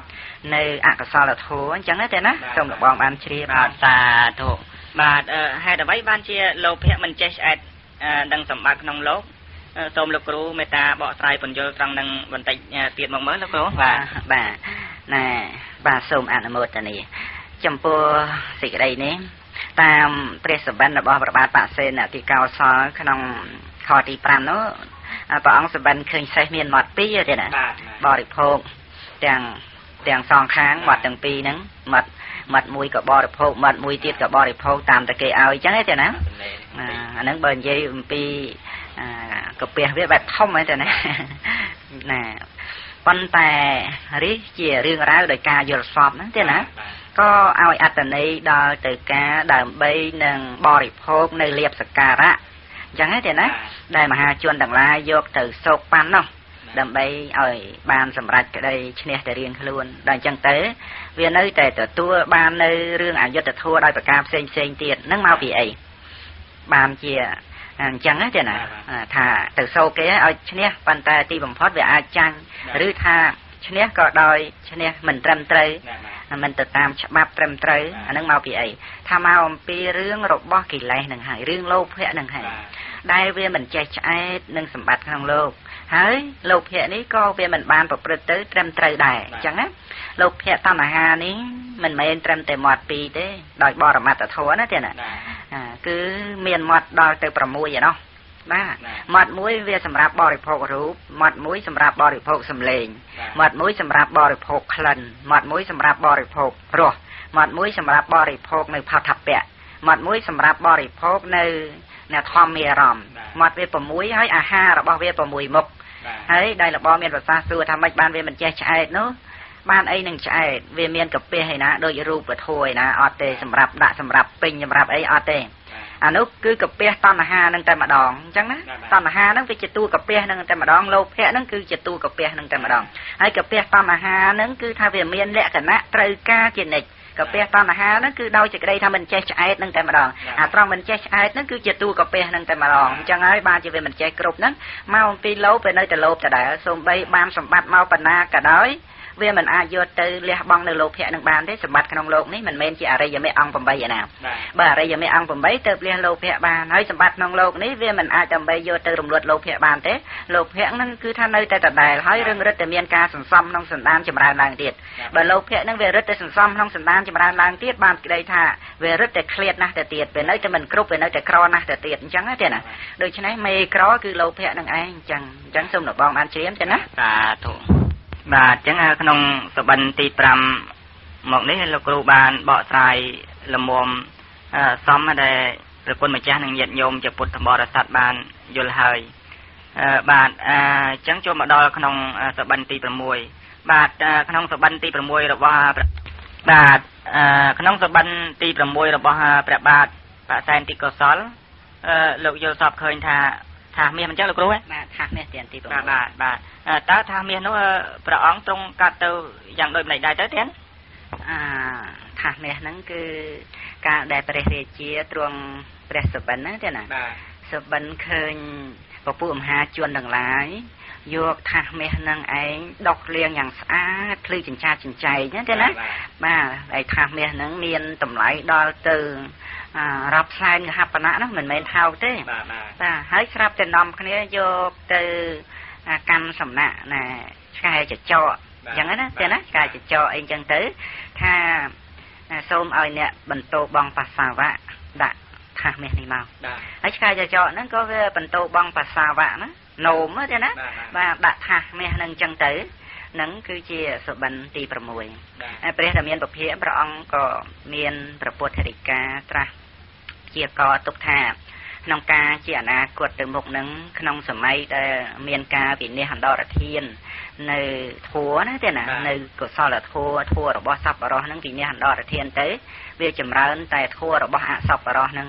ដែលព្រះអង្គទ្រង់តាសម្ដែងអញ្ចឹងមានព្រះរាជាអីចឹងដែរក្នុងការគ្រប់គ្រងនគរនឹងប៉ុន្តែព្រះអង្គក្នុងកាលនោះមានការភ័យខ្លាចរង្គៀសចំពោះអ្នកដែលមាន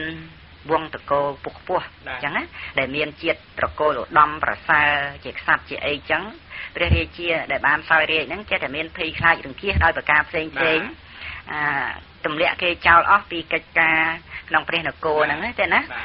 ដកចេញអស់អញ្ចឹងទៅក្រែងលោថាគេហ្នឹងដណ្ដើមរាជអីក៏មិនមិនដឹងទេហើយក៏ទៅលើកអ្នកដែលមានតកូលដូចជា អន់ថោយសត្វខ្សោយតកូលដែលវាមិនបានងងខ្លៅតកូលដែលវាមិនខ្ពង់ខ្ពស់មិនប្រសើរទេណាតាមការដែលគេនិយមតាមវណ្ណៈតាមតកូលអីហ្នឹងទៅយកអ្នកដែលមិនមានវងតកូលពងខ្ពស់ធំធំអីហ្នឹងយកមកឲ្យធ្វើនៅកិច្ចការងារបំពេញរាជកិច្ចដោយប្រការផ្សេងផ្សេងអញ្ចឹងទៅដល់តែអញ្ចឹងទៅពួកអ្នកដែលមានវងតកូលដែលធ្លាប់តែពងខ្ពស់ មានកិច្ចការងារសពគ្រប់អីហ្នឹងមិនមានដើម្បីថានឹងប្រកបកិច្ចការងារអីបានទេធ្លាក់យកធ្លាក់សាក់ធ្លាក់តំណែងអីអញ្ចឹងទៅហើយក៏អាចដើម្បីថានឹងលើកនឹងលើកយកនៅធីតាកូនស្រីណាចាណាបាទលើកយកកូនកំមុំរបស់ខ្លួននឹងឯងអាចដើម្បីថានឹងទៅឲ្យមានប្តីចំពោះអ្នកដែលមានត្រកូលទៀបថោកអ្នកដែលល្ងងខ្លៅប៉ុន្តែគេបានធ្វើនៅកិច្ចការងារធំធំក្នុង ព្រះនគរហ្នឹងអញ្ចឹងអាអត់ទេអត់មាននិយាយពីរឿងគុណធម៌ទេគឺក្នុងសម័យដែលណាវិន័យកុសលធម៌គឺថាលើកយកអកុសលធម៌ជាធំបាទហ្នឹងអញ្ចឹងម្ល៉េះហើយគឺថាអ្នកដែលកើតនៅក្នុងតកូលធំធំហ្នឹងលើកយកកូនស្រីរបស់ខ្លួននឹងឲ្យទៅអ្នកនៅក្នុងតកូលទៀតទៀតអ្នកងំខ្លៅអ្នកអីចឹងទៅវិញប្រៀបដូចជាយកខាសមាសហ្នឹងទៅឲ្យឆ្កែចចកបន្ទោបងបាសាវៈដាក់ចឹងដែរហ្នឹងគឺថាជា សុបិនទី6ដែលព្រះអង្គទ្រង់ត្រាស់សម្ដែងថាវានឹងមានជារឿងរ៉ាវពិតក្នុងការជាអនាគតក្នុងសម័យដែលមានការវិនិច្ឆ័យទៅនៃលោកនេះគឺវិនិច្ឆ័យទៅនៃមនុស្សធម៌ណាចាណាវិនិច្ឆ័យទៅនៃអរិយធម៌វិនិច្ឆ័យទៅនៃធម៌របស់សប្បុរសហ្នឹងអញ្ចឹងសូមរបងបានជ្រាបសាធុខ្ញុំសូមជម្រាបសួរលោកគ្រូអំពីចន្លោះសាសនាព្រះពុទ្ធបាទចាប់អំពីឥឡូវនេះទៅតើ ពេលណាទៅមានព្រះពុទ្ធត្រាមួយអង្គទៀតលោកគ្រូអូយូរណាស់ទៀតយូរណាស់តាមសមង្គលវិលាសន័យទេណាដែលជាអត្ថកថាទីខនិកាយនៅក្នុងបេដកខ្មែរយើងលេខ16ហ្នឹងមានសម្ដែងប៉ុន្តែអត្ថកថាណាតែណាលោកបញ្យល់នៅក្នុងរឿងពុទ្ធប្រវត្តិហ្នឹងមានសម្ដែងថាអាយុមនុស្សយើងដែលខៃចុះ ពីឥឡូវហ្នឹងទៅ100ឆ្នាំចេះតែចុះមួយឆ្នាំទៅអញ្ចឹងទេណាឧទាហរណ៍ថាសប្តាហ៍ថ្ងៃហ្នឹង74ឆ្នាំស្លាប់អាយុខៃតែប៉ុណ្្នឹងទេណាអាយុខៃតែប៉ុណ្្នឹងស្លាប់ហើយ100ឆ្នាំទៅទៀតទៅអាយុ73អីស្លាប់ហ่ะចុះមួយឆ្នាំអញ្ចឹងទៅ100ឆ្នាំទៅទៀតទៅ72ស្លាប់តែចេះចុះអញ្ចឹងទេណាចុះតាំងចេះចុះរហូតតតែមនុស្សអាយុ10ឆ្នាំហ្នឹងអាយុខៃទៅស្លាប់ហើយ លើខ្វះហើយបីតិចតួចអាហ្នឹងវាវាជារឿងមួយផ្សេងតែរឿងកំណត់អាយុខៃវាប៉ុណ្ណឹងទេណា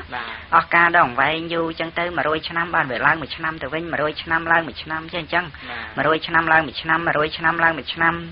ចេះតែខៃឡើងដូចថា100ឆ្នាំទៅអាយុអាយុមនុស្ស11ឆ្នាំបើស្លាប់អញ្ចឹងណា100ឆ្នាំទៀតទៅមនុស្សអាយុ2ដល់10ឆ្នាំបានស្លាប់100ឆ្នាំទៀតទៅមនុស្សអាយុ13ឆ្នាំបានស្លាប់រហូតដល់តែមនុស្សអាយុមួយអសង្ខ័យច្រើនណាមនុស្សអាយុមួយអសង្ខ័យច្រើនណា ច្រើនមែនទែនបើទៅតាមការរាប់នោះលោកលោកសម្ដែងថាមួយអសង្ខ័យសរសេរលេខ1ហើយលេខ0000 140ណាទេណា140ហ្នឹងគឺមួយអសង្ខ័យហើយបានត្រឡប់ចុះមកវិញ100ឆ្នាំចុះមួយឆ្នាំ100ឆ្នាំចុះមួយឆ្នាំ100ឆ្នាំចុះមួយឆ្នាំណាទេណារហូតដល់អាយុខ្លីនេះបាទរហូតដល់តែណែក្នុងសម័យមនុស្សអាយុមួយសែនចុះមកដល់មួយសែនណាទេណាហើយព្រះព្រះសាមេត្រីដែលព្រះអង្គបានត្រាស់ក្នុងបច្ចុប្បន្នដែលព្រះអង្គ មានបច្ចុប្បន្ន80000បច្ចុប្បន្ន80000ព្រះអង្គនឹងបរិនិព្វានក្នុងមនុស្សសម័យមនុស្សអាយុប៉ុណ្ណឹងម្ដុំអាយុមួយសែនហ្នឹងទេណាត្រង់កន្លែងហ្នឹងនឹងបានមានប្រពុតហ្នឹងបានត្រាស់ចឹងសូមលោកបងបានជ្រាបទេណាសាធុថាការត្រាស់ដឹងនៃប្រពុតទាំងឡាយជាការកម្របាទលោកគ្រូ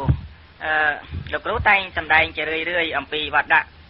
អឺថាវត្តដាក់វត្តដាក់បាទតើវត្តដាក់ហ្នឹងបើនិយាយដោយបរមត្តអភិធម្ម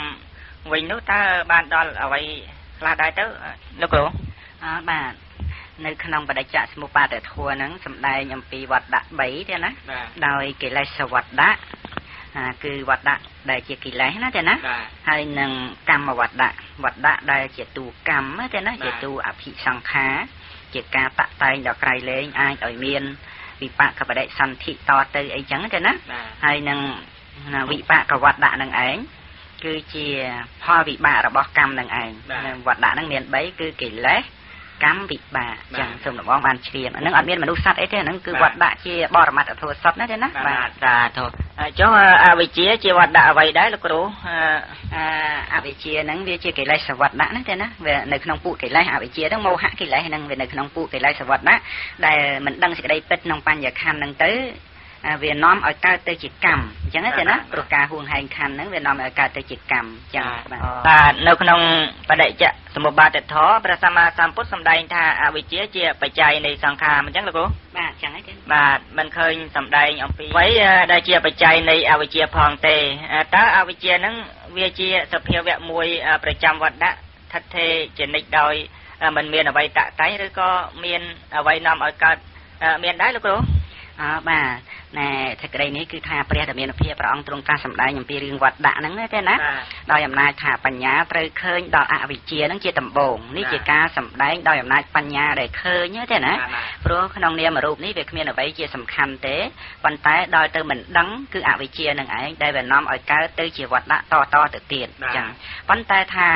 វាមិនមែនជារបស់ថិតថេរទៀងទាត់ប្រចាំវត្តដាក់នេះទេវាមានបច្ច័យតាក់តែងឲ្យកើតចឹងដែរបើអត់បច្ច័យទេក៏វាមិនកើតដែរ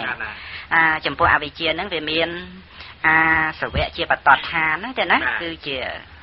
គ្រឿងមួយសម្រាប់ដែលនាំឲ្យអវិជ្ជាកើតហ្នឹងគឺអាសវៈនឹងឯងអញ្ចឹងសូមលបងបានជ្រាបសាធុអឺអាសវៈប្រែថាយ៉ាងម៉េចដែរទៅទៀនអអាសវៈហ្នឹងគឺថាជាគ្រឿងត្រាំឬម្យ៉ាងទៀតលោកប្រែថាជាគ្រឿងហូរអញ្ចឹងទេណាប្រែប្រែបានពីរអញ្ចឹងលោកប្រែថា គ្រឿងត្រាំឬគ្រឿងហូរបាទបាទអញ្ចឹងញាតិញោមជាពុទ្ធបរិស័ទយើងបានយល់កាន់តែច្បាស់ហើយគ្រឿងត្រាំគ្រឿងហូរនោះតើត្រាំដោយម្ដេចហើយហូរដោយម្ដេចសូមលោកគ្រូមេត្តាប្រទានបកស្រាយបំភ្លឺជូនដល់ញាតិញោមជាពុទ្ធបរិស័ទយើងបានយល់កាន់តែច្បាស់ផងទៀតអើបាទសូមអនុមោទនាទានចំពោះសេចក្តីនេះល្អិតល្អន់ណាយើងអាចសិក្សាព្រះបរិយត្តិធម៌ទៅយើងអាចចេះបានណាទេណាប៉ុន្តែសេចក្តីពិតធัวទាំងអស់នេះសិតតែអាចឃើញបានដោយបញ្ញាបរិបត្តិណាទេណាក្នុងជីវិតជាប្រដីរាល់ថ្ងៃនឹងឯងដែលវាជាគ្រឿងត្រាំជាគ្រឿងហូរនោះព្រោះថាដោយអំណាចអាសវៈនឹងឯងវាប្រកបជាមួយនឹងចិត្តដែលថាត្រាំគឺត្រាំនៅជាមួយនឹងចិត្តណាទេណាដែលវាមានការកើតឡើងក្នុងជីវ័នប្រព្រឹត្តទៅដោយអំណាចកាមាសវៈគ្រឿងគ្រឿងត្រាំគឺសេចក្តីប្រាថ្នាណាទេណាហើយចំពោះ ភវិសវៈភវិសវៈណាទេណាគ្រឿងត្រាំគឺលោភៈដែលព្រឹត្តទៅដើម្បីក្តីត្រេកអរពេញចិត្តនៅក្នុងភពនឹងទិដ្ឋាសវៈគ្រឿងត្រាំគឺមិឆាទិដ្ឋិផ្សេងផ្សេងហើយអវិជ្ជាសវៈនឹងដែរគ្រឿងត្រាំនោះគឺអវិជ្ជានឹងវាត្រាំជាមួយចិត្តវាមិនងាយចែករំលែកចេញអំពីចិត្តបានទេអានេះត្រាំជាប់ស្អិតជាមួយនឹងចិត្តអញ្ចឹងតែម្ដងដែលវាកើតឡើងនៅក្នុងជួរនៃអកុសលជីវ័នណាទេណាហើយដែលថាវាជាគ្រឿងហូរហ្នឹងមកអំពីវាហូរទៅរកអារម្មណ៍បាទ ហូរទៅរករូបតាមផ្លូវភ្នែកហូរទៅរកសម្លេងតាមផ្លូវតិចអញ្ចឹងណាចឹងណាហូរទៅរកក្លិនរករសរកផតពៈរកធម្មអារម្មណ៍គ្រឿងហូរហ្នឹងគឺហូរអញ្ចឹងបាទអាសវៈទាំង4ហ្នឹងដែលវាហូរទៅណាចឹងណាបាទណែប្រគុណម្ចាស់ញាតិញោមពុទ្ធបរិស័ទផងដែរក៏បីនឹងបានពិចារណាថាតើវាហូរយ៉ាងម៉េចតាមដែលលោកបងមានប្រសាសន៍សួរហ្នឹងល្អណាទេណាអាប្រៀបឧបមាបីដូចជាដំបៅដំបៅដែលវាអត់តន់ជា លាបថ្នាំអីក៏មិនជាអញ្ចឹងវានៅរីកវានៅរីកអញ្ចឹងដំបៅហ្នឹងមានអីមកប៉ះ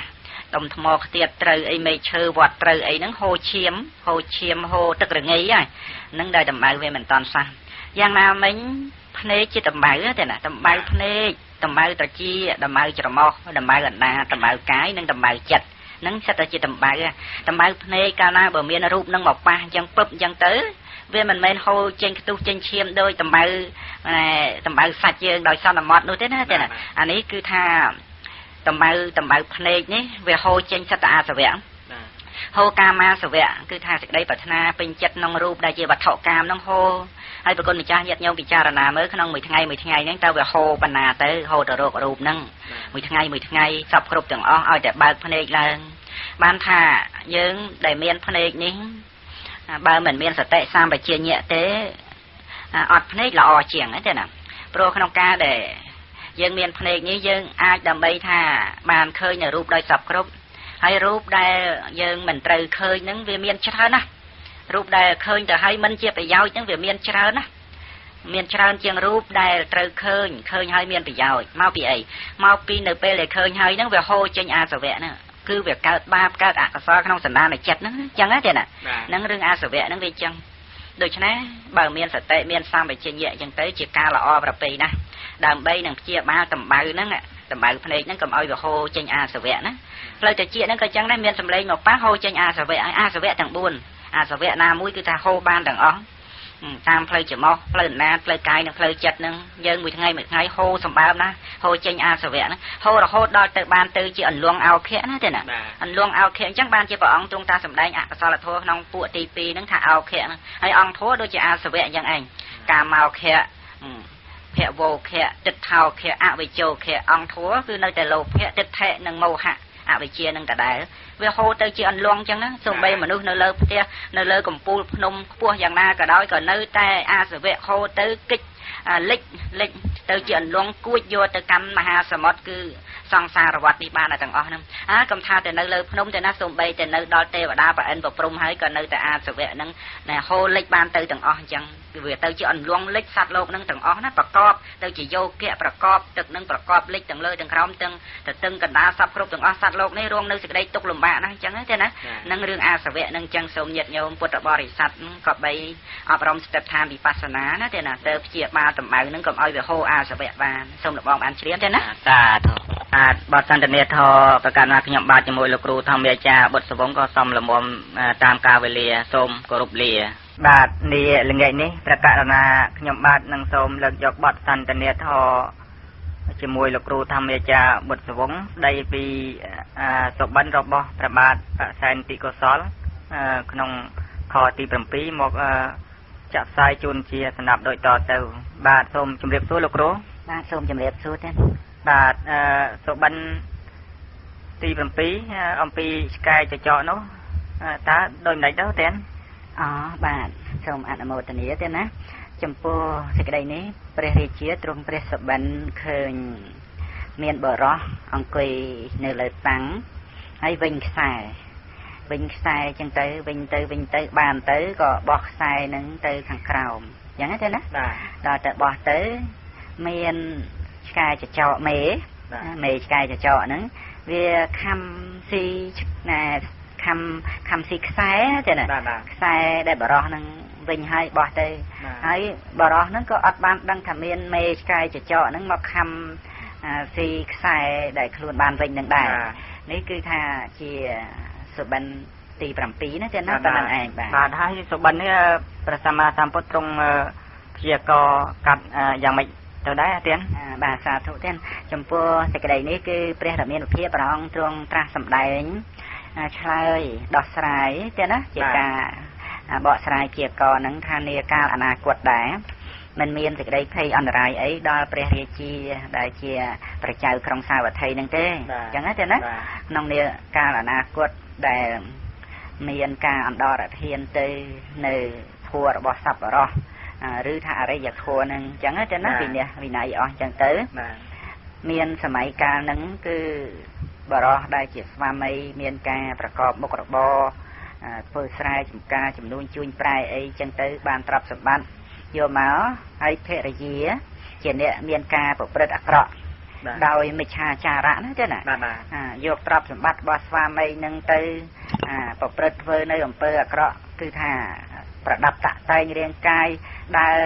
តាមផ្លូវខ្នល់ចឹងទៅហើយទៅខ្សែគប់នឹងបរោះដតីប្រព្រឹត្តប្រព្រឹត្តខុស ក្នុងបរោះដតីហ្នឹងគឺបានន័យថា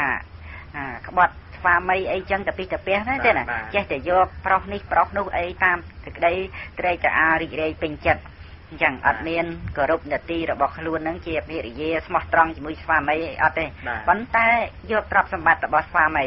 ដែលខំស្វែងរកបានមកនឹងហើយស្វាមីហ្នឹងក៏មិនអាចដើម្បីនឹងកែខៃដោះស្រាយអីបានទេដូចជាអ្នកដែលវិញខ្សែហ្នឹងគឺ គឺថាវាមិនបានដឹងថាឆ្កែចចកហ្នឹងវាវាអង្គៀមខ្សែអីចឹងទេណាអាមេឆ្កែចចកហ្នឹងនេះគឺជាការសម្ដែងដល់អន្តរាយទេណាអន្តរាយដោយកុសលធម៌អន្តរាយដល់សិលធម៌ក្នុងសម័យកាលអនាគតតាមដែលព្រះអង្គទ្រង់ត្រាស់សម្ដែងមកហើយនឹងអញ្ចឹងណាណានេះគឺថាជាដំណោះស្រាយក្នុងសបិនទី7អញ្ចឹងសំស្របអញ្ចឹងទេណាបាទសូម លោកបងបានជ្រាបសាសាធុក្នុងការដាច់សិលឬក៏ទ្រុសិលដោយអំណាចកាមេសមិឆាចារៈចំពោះកាមេសមិឆាចារៈបរោះគឺប្រព្រឹត្តខុសក្នុងស្ត្រីទាំងឡាយបាទមានបុត្រឬភរិយារបស់អ្នកដតីជាដើមត្រង់កន្លែងនេះខ្ញុំបាទបានយល់ហើយចុះការមេសមិឆាចារៈរបស់ស្ត្រីវិញតើដូចម្ដេចដែរទៅលោកគ្រូ អូបាទត្រង់កន្លែងនេះគឺខុសគ្នាទេណាការមេសមិឆាចារៈបរោះដោយលោកបងមានប្រសាសន៍ចឹងហើយទេណាប៉ុន្តែការមេសមិឆាចារៈរបស់ស្ត្រីវិញនោះគឺនៅត្រង់ផិតប្តីនិយាយចំមកអញ្ចឹងទេណាគឺក្បត់ស្វាមីនឹងឯងទៅស្រឡាញ់បរោះដតីទៅប្រព្រឹត្តនៅការមេសមិឆាចារៈហ្នឹងចឹងគឺជាមួយនឹងបរោះដតីចឹងទេណាបរោះណាក៏ដោយ យ៉ាងម៉េចក៏ដែរចឹងទេណាសំបីទៅជាមួយសត្វទេឆានហ្នឹងក៏ដោយគឺជាការមេសមិឆាចារៈហើយឲ្យតែមានការប្រព្រឹត្តអញ្ចឹងគឺក្បត់ប្តីហ្នឹងទេណាផិតប្តីហៅថាផិតប្តីអញ្ចឹងគឺជាការមេសមិឆាចារៈរបស់ស្ត្រីអញ្ចឹងដូច្នេះការមេសមិឆាចារៈរបស់ស្ត្រីគឺនៅត្រង់ដែលមានប្តីហើយក្បត់ប្តីផិតប្តីនឹងឯងទៅលោបលាក់ស្រឡាញ់បរោះដតីយ៉ាងម៉េចក៏ដោយអញ្ចឹងសូមរបស់បានជ្រាបទេណាសាធុ តាមការពិចារណាតាមធម៌សពគ្រប់ទៅវត្ថុដែលនាំឲ្យស្រវឹងក្នុងលោកនេះ មានច្រើនណាស់លោកគ្រូមិនមែនចំពោះតែសរាឬក៏កញ្ឆាអាភៀននោះឡើយមែនទេលោកគ្រូអើបាទ ចំពោះរឿងស្រវឹងនេះខ្លាំងជាងនឹងទៅទៀតទេណាដោយអំណាចមគ្គគឺសេចក្តីស្រវឹងហ្នឹងគឺវាស្រវឹងនឹងជាតិស្រវឹងនឹងវ័យស្រវឹងនឹងលៀបសការៈអីជាដើមសពគ្រប់ស្រវឹងច្រើនហ្នឹងទេណាបាទបើដូច្នេះសូមលោកគ្រូមេត្តាជួយសម្ដែងប្រាប់អំពីឆ្នាំដែលសម្រាប់បន្សាបនៅសេចក្តីស្រវឹងគឺមគ្គនេះតាមការគួរផងទៀតបាទបាទសូមអនុមោទនាដល់លោកបងទេណា ចំពោះសេចក្តីនេះព្រះដែលមានពភាព្រះអង្គទ្រង់ត្រាស់សម្ដែង អំពីសតិណាទេណាដែលជាឆ្នាំបន្សាបនៅមគ្គគឺសេចក្តីស្រវឹងនឹងដូចជាការដែលព្រះអង្គទ្រង់សម្ដែងប្រាប់អំពីរឿងសបិនទី7ដែលជារឿងរ៉ាវនឹងត្រូវកើតមាននាអនាគតនោះចាណាដូចជាពួកភរិយាទាំងឡាយអីហ្នឹងវាចូលនៅក្នុងសេចក្តីស្រវឹងនឹងហើយបាទយកទ្រព្យសម្បត្តិអីហ្នឹងទៅបរិភោគសុរាលេះលោះសពគ្រប់អីចឹងទៅហើយទ្រព្យសម្បត្តិនៅក្នុងផ្ទះហ្នឹងមិនសល់ទេទោះបីតែស្រូវ ស្រូវសម្រាប់យកទៅព្រោះទៅធ្វើជាពូជណាណាស្អែកខាមស្អែកអីហ្នឹងហើយក៏ដោយក៏នៅតែយកទៅដើម្បីថាលក់ដូរឬក៏ធ្វើនំស៊ីចាយសបាយអីប្រហិនប្រហោចសបាយជាមួយបារោះអីដតីអីចឹងទៅអានឹងវាចូលសវឹងទាំងអស់អាផឹកស្រាហ្នឹងក៏វាសវឹងម្យ៉ាងហើយប៉ុន្តែសវឹងក្រៃលែងអំពីនឹងទៅទៀតហ្នឹងគឺការដែលស្រវឹងនឹងការដែលមានមានវ័យណាអានតែខ្លួនឯងនៅក្មេងមានរូប សម្ផស្សស្អាតបាតអីចឹងទៅវាកើតទៅជាសេចក្តីស្រវឹងព្រោះតែការមិនមានសតិចឹងទេណាបាទស្រវឹងនឹងទ្រព្យសម្បត្តិស្រវឹងនឹងលៀបនឹងយោអីហ្នឹងព្រោះតែការមិនមានសតិនឹងដែរដូច្នេះបានជាព្រះដែលមានវិភាព្រះអង្គទ្រង់ត្រាស់សម្ដែងមហាសតិប្បដ្ឋានសូត្រណាទេណាគឺមានកាយានុបស្សនាសតិប្បដ្ឋានជាដើមនឹងឯងគឺសតិរលឹកឃើញនៅកាយទេណាឃើញច្បាស់នៅកាយក្នុងកាយនឹងឯងបានទៅជា វិបស្សនាញាណដែលហៅថាការដែលត្រូវឃើញច្បាស់ទេណាព្រោះសតិរលឹកត្រង់លក្ខណៈនៃកាយកាយក្នុងកាយហ្នឹងគឺថាសភាពនៃធាតុដីធាតុទឹកធាតុភ្លើងធាតុខ្យល់ហ្នឹងវាអត់មានស្អីជាសារៈសំខាន់ជាខ្លួនយើងទេបាទហើយឃើញសភាពនៃសភាវៈធัวដែលមានការមិនទៀងជាទុកនិងមិនមែនជាទូខ្លួនឲ្យបានច្បាស់នេះគឺថាជាឆ្នាំកំចាត់បងនៅសេចក្តីស្រវឹងអញ្ចឹងទេណាពពួកកាយទាំងឡាយ ដែលវាប្រជុំរួមគ្នាតាំងពីសក់រោមកញ្ចក់ថ្មិញស្បែកឬក៏អវយវៈតូចធំក្បាលមុខមាត់ដៃជើងអីសពគ្រប់តែទាំងអស់ហ្នឹងដោយការដែលមិនមានសតិដឹងក៏វាទៅជាសត្វបកុលទូខ្លួនអញ្ចឹងហើយក៏សវឹងសបាយរីករាយលើកតម្កើងត្រួតត្រងនៅបញ្ញខណ្ឌនឹងអញ្ចឹងទៅថាជាទូខ្លួនឯងដោយសពគ្រប់ដូច្នេះបើមានសតិរលឹកដឹងសភាពពិតនៃកាយ គឺនឹងឃើញច្បាស់ថាវាអត់មានអីជាទូខ្លួនយើងទេនេះវាបន្សាបនៅសេចក្តីស្វឹងនឹងបានហើយអញ្ចឹងទៅវាឃើញតែជាធាតរឹងរឹងជាធាតដីអីចឹងទៅវាមានខ្លួនយើងអីដីហ្នឹងឬក៏ដូចជាក្តៅក្តៅវាមានជាខ្លួនយើងអីទេជោហ្នឹងឬក៏សភាពតឹងកម្រើកញួរអីចឹងវាមានត្រឹមតែវាយោធាតខ្យល់ហ្នឹងហើយវាមានជាខ្លួនយើងអីទេទាំងក្នុងទាំងក្រៅក៏វាគ្រាន់តែជាធាតហ្នឹងតែម្យ៉ាង នឹងឬក៏ដូចជាក្នុងការដែលត្រូវសិក្សាលក្ខណៈនៃវេទនាសេចក្តីសប្បាយសេចក្តីរីករាយអីហ្នឹងគឺវាមិនមែនជាទូខ្លួនយើងឯណាត្រូវឃើញច្បាស់ដោយបញ្ញាទៅជាវេទនានុបស្សនាសតិប្បដ្ឋានហ្នឹងហើយគឺជាឆ្នាំហើយទេណាដើម្បីនឹងកំចាត់បងនៅសេចក្តីស្រវឹងដោយសពគ្រប់ទាំងអស់គឺត្រូវកំចាត់បងដោយការមានសតិសម្បជញ្ញៈនឹងឯងសតិថ្នាក់សតិប្បដ្ឋានមានការប្រព្រឹត្តទេដើម្បីជាការកំចាត់បងនៅសេចក្តីស្រវឹងនេះបានស័ក្តិសិទ្ធណាស់ហើយតែមានការប្រកប នៅឆ្នាំនឹងឡើងគឺការអប់រំចម្រើនសតិគឺសតិចម្រើនសតិដោយមានឧបការៈមានបច្ច័យអំពីការស្ដាប់ប្រធัวក្នុងព្រះពុទ្ធសាសនានឹងបានយល់ចូលចិត្តណាទេណាសេចក្តីសប្បាយរីករាយនឹងសត្វលោកនឹងមានសេចក្តីស្រវឹងណាស្រវឹងហាក់ដូចជាថាវាមានសារៈខ្លឹមសារសំខាន់តាមពិតការដែលយើងខំសបាយតាំងអំពីព្រឹកមកដល់ល្ងាចឧទាហរណ៍អញ្ចឹងទៀតណាវាអស់រលីងបាត់ទៅហើយអស់ទៅគ្រប់ពេលវាមានបានថិតថេរនៅអី ម្ល៉េះហើយវាអាចដើម្បីនាំមកនៅសេចក្តីទុកសេចក្តីកង្វល់សេចក្តីលំបាកព្រោះការប្រាថ្នាត្រូវការចង់បានបន្ថែមមកទៀតដោយសពគ្រប់ទាំងអស់ហើយជាពិសេសយើងត្រូវឃើញថារបស់ណាដែលយើងមិនបានធ្វើឲ្យវាកើតទេអានឹងវាជាធម្មជាតិទេតើចាណាសេចក្តីសប្បាយគឺការសោយនៅអារម្មណ៍ជាសុខហ្នឹងគឺជាលក្ខណៈនៃវេទនាខណ្ឌវេទនាចេតសិក ជារបស់ក្នុងโลกនេះវាជាវត្តដាក់វាមិនមែនជាយើងធ្វើឲ្យកើតទេមិនគួរយើងទៅសវឹងសបាយងប់ងល់អីក្នុងរបស់ទាំងអស់ហ្នឹងទេណាទេណាត្រូវជៀសចេញដោយការរលាស់ចោលនៅសេចក្តីត្រេកអរពេញចិត្តដោយអំណាចការអប់រំនៅអរិយមគ្គអង្គ8តាមរយៈនៃសតិប្បដ្ឋានវិបស្សនាឬក៏សភាពនៃសភាវៈទាំងឡាយដូចជាពួកចិត្តពួកចិត្តហ្នឹងក៏គួរដល់ការដើម្បីមានសតិរលឹកដឹងសពគ្រប់ទាំងអស់ដែលមានវិថីចិត្តដឹងនៅអារម្មណ៍ តាមទ្វារទាំង6នេះវាអត់មែនជាតួខ្លួនយើងទេគ្រាន់តែជាកិច្ចរបស់ចិត្តដែលធ្វើកិច្ចឃើញគឺទស្សនៈកិច្ចហ្នឹងចក្ខុវិញ្ញាណវាមិនមែនជាយើងអីតែគួរសវឹងអីនឹងរូបហ្នឹងទេណាបើយើងបានឃើញទៅអានឹងយើងចេះតែត្រេកអរសប្បាយទៅចុះបើវាមិនមែនយើងបានឃើញសោះគ្រាន់តែចិត្តឃើញហើយក៏រលត់បាត់អស់រលីងទៅវាមាននៅអីជាទូខ្លួនយើងគួរនឹងត្រេកអររូបហ្នឹងក៏វិនិច្ឆ័យបាត់អស់ទៅដែរដំណើរជីវិតយើងហ្នឹងគឺដើរទៅរកសេចក្តីស្លាប់ក្នុងមួយជាតិមួយជាតិហ្នឹងវាមិនបានដើម្បីនៅជាមួយនឹងរូបសម្លេងក្នុងរស់ផុតថពៈទេ ចិត្តលឺក៏វាមិនមែនជាយើងឃើញច្បាស់អញ្ចឹងសតិថ្នាក់សតិប្បដ្ឋានណាទេណាហៅថាចិត្តតានុបស្សនាសតិប្បដ្ឋានចិត្តធំក្លិនចិត្តដឹងរសចិត្តដឹងផុតថពៈចិត្តនឹកគិតដឹងរឿងអីទាំងអស់គ្រាន់តែជាវិថីចិត្តកើតឡើងទៅតាមវិថីចិត្តនឹងកើតឡើងទទួលភ្ញៀវតែភ្ញៀវនេះដោយបរមត្តណាទេណាភ្ញៀវរូបសម្លេងក្លិនរសផុតថពៈធម្មអារម្មណ៍នឹងដោយចិត្តដែលកើតឡើងនឹងទទួលនៅភ្ញៀវបរមត្តនឹងប៉ុន្តែបើមានសតិរលឹកដឹងបាន គឺថាចិត្តដែលទទួលភ្ញៀវនឹងជាមួយគ្នានឹងសតិសម្បជញ្ញៈនឹងជាការល្អណាស់ឃើញច្បាស់ថាវាមិនមែនជាទូខ្លួនយើងទេនៅពេលដែលយើងទទួលទានដំណេកម្នាក់ឯងអត់លក់ហ្នឹងមកពីអីមកពីរវល់ទទួលភ្ញៀវហ្នឹងទទួលភ្ញៀវរូបសម្លេងឬក៏រឿងរ៉ាវទាំងឡាយដោយអំណាចចិត្តកើតឡើងនឹកគិតហ្នឹងអញ្ចឹងដឹងនៅអារម្មណ៍ហ្នឹងអញ្ចឹងទៅនេះគឺគ្រាន់តែជាចិត្តប៉ុណ្ណោះឯងវាមានអីជាយើងដែលបានដឹងនៅអារម្មណ៍ ហើយនឹងពួតហួរទាំងឡាយផ្សេងផ្សេងទៀតអញ្ចឹងដោយសពគ្រប់ទាំងអស់ណាចាណាសំបីកាយហ្នឹងក៏ជាធម្មៈវេទនាហ្នឹងក៏ជាធម្មៈចិត្តហ្នឹងក៏ជាធម្មៈហើយនឹងបរមត្តធัวទាំងឡាយផ្សេងទៀតទាំងអស់ក៏នៅក្នុងធម្មៈនឹងឯងសតិរលឹកបានទៅជាធម្មានុបស្សនាសតិប្បដ្ឋានសូម្បីដូចជានិវរណៈបព្វៈនៅក្នុងធម្មានុបស្សនាសតិប្បដ្ឋានកាមឆន្ទៈនេះសេចក្តីពេញចិត្តក្នុងរូបសម្លេងក្នុងរស់ផតថពៈសតិរលឹកបានដែរតើវាមិនមែនជាយើងទេដែលពេញចិត្តនេះនេះជាលក្ខណៈនៃសភាវៈម្យ៉ាង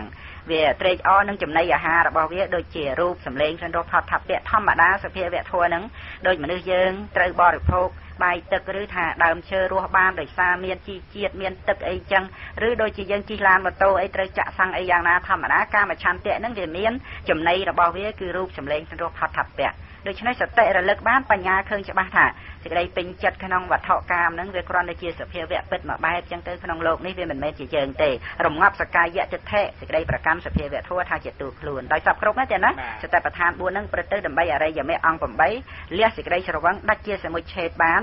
ឃើញនៅព្រះនិព្វានដែលជាបរមសុខស្ងប់មិននាំមកនៅសេចក្តីកវល់ឬសេចក្តីក្តៅក្រហាយដោយប្រការសពគ្រប់ចឹង ដូច្នេះសូមលោកបងបានជ្រាបទេណាសូមអនុមោទនាទេណាបាទសាធុអាឆ្នាំសម្រាប់បន្សាបនៅសេចក្តីស្រវឹងតាមដែលលោកគ្រូសម្ដែងមកនេះឃើញថា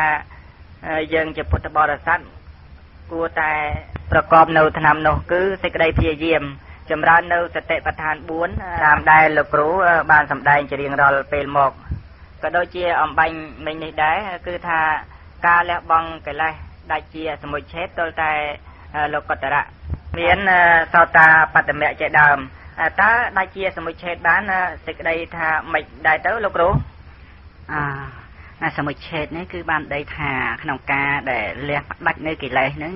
ស្មើព្រមជាមួយគ្នានឹងអរិយមគ្គហ្នឹងណាទេណាមានសោតាបត្តមៈជាដើមហ្នឹងហើយដែលនៃសំខាន់ត្រូវយល់នោះត្រូវយល់នោះគឺថាកិលេសណាដែលអរិយមគ្គលះបានហើយ វាមិនត្រឡប់កើតវិញគឺថាវាដាច់ឬលះអនុស័យទេណា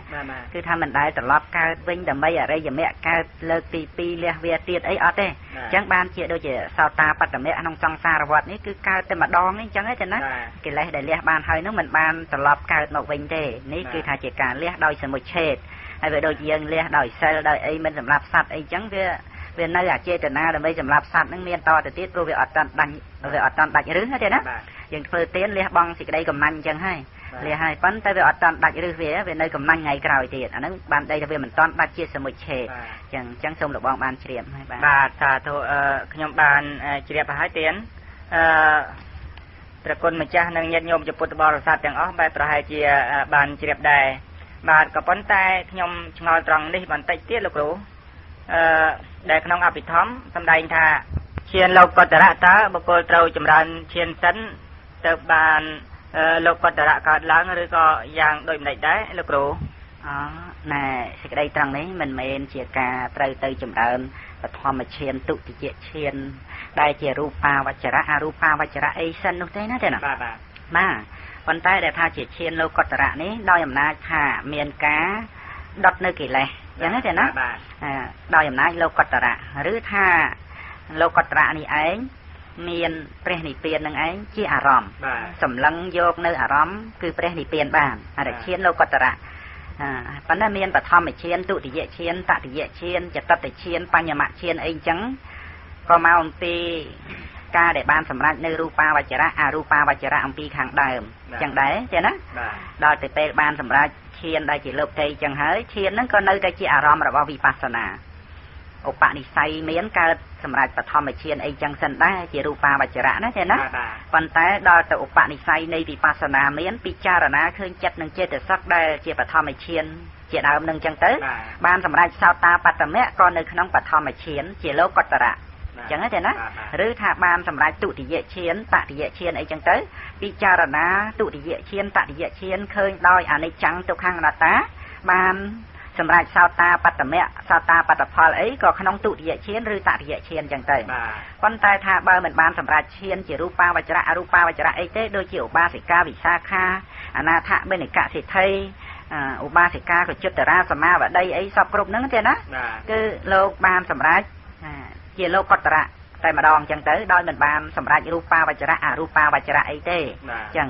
ជាការជាក់ស្ដែងច្បាស់លាស់គឺថាក្រោយអំពីព្រះអរិយបុគ្គលនឹងស្លាប់ទៅបដិសន្ធិក្នុងទេវលោកដែលជាកាមភពនឹងជាការសម្ដែងឲ្យឃើញថាលោកមិនបានសម្រេចឈានមានបឋមឈានដែលជារូបាវចរៈអរូបាវចរៈអីទេបើសិនជាលោកបានសម្រេចរូបាវចរៈនោះលោកទៅកើតព្រំលោកបាត់ហើយអញ្ចឹងទេណាដូច្នេះឃើញថាការដែលលោកបានសម្រេចមគ្គផលនឹង មិនបានអាស្រ័យមានបឋមឈានទុតិយឈានផងទេតែលោកកតរៈមានឧបនិស្ស័យអំពីវិបស្សនាសត្វអញ្ចឹងណាអាចបានសម្រាប់អញ្ចឹងសូមលបងបានជ្រាបសាធុបាទលោកកតរៈចិត្តដោយពុស្ដា40បាទបាទដោយសង្ខេបមានត្រឹម8ប៉ុណ្ណោះមិនអញ្ចឹងលោកគ្រូហ៎បាទអញ្ចឹងហើយមានអភិធម្មលោកសម្ដែងអញ្ចឹងបាទគឺមគ្គ4ផល4ខ្ញុំសូមជម្រាបសួរលោកគ្រូថា ព្រះអរិយបុគ្គលដែលមិនបានសម្រេចឈានរូបាវចរៈឬក៏ថារូបាវចរៈទេនោះតើមគ្គផលរបស់លោកដែលកើតឡើងនោះរាប់ជាឈានលោកកតរៈក្នុងលោកកតរៈ40នោះដែរឬទេសូមលោកគ្រូមេត្តាជួយបំភ្លឺចែកទានផងទៀតអបញ្ហានេះជ្រៅដែរណានៅក្នុងព្រះអភិធម្មគឺថាចំពោះ មគ្គ4ផល4នេះលោករាប់ដោយសង្ខេបណាទេណាគឺលោកកតរៈ78ប៉ុន្តែដោយសង្ខេបនេះគឺសង្ខេបពី40នឹងមកនឹងឯងអញ្ចឹងទេណាហើយបើដោយពុស្ដាទៅគឺមគ្គ4ផល4ដោយសង្ខេបនឹងឯងយកទៅគុណនឹងឈាន5 8 5ដងទេណាឈាន5ហ្នឹងគឺបឋមឈានទុតិយឈានតតិយឈានចតតឈានបញ្ញមឈាន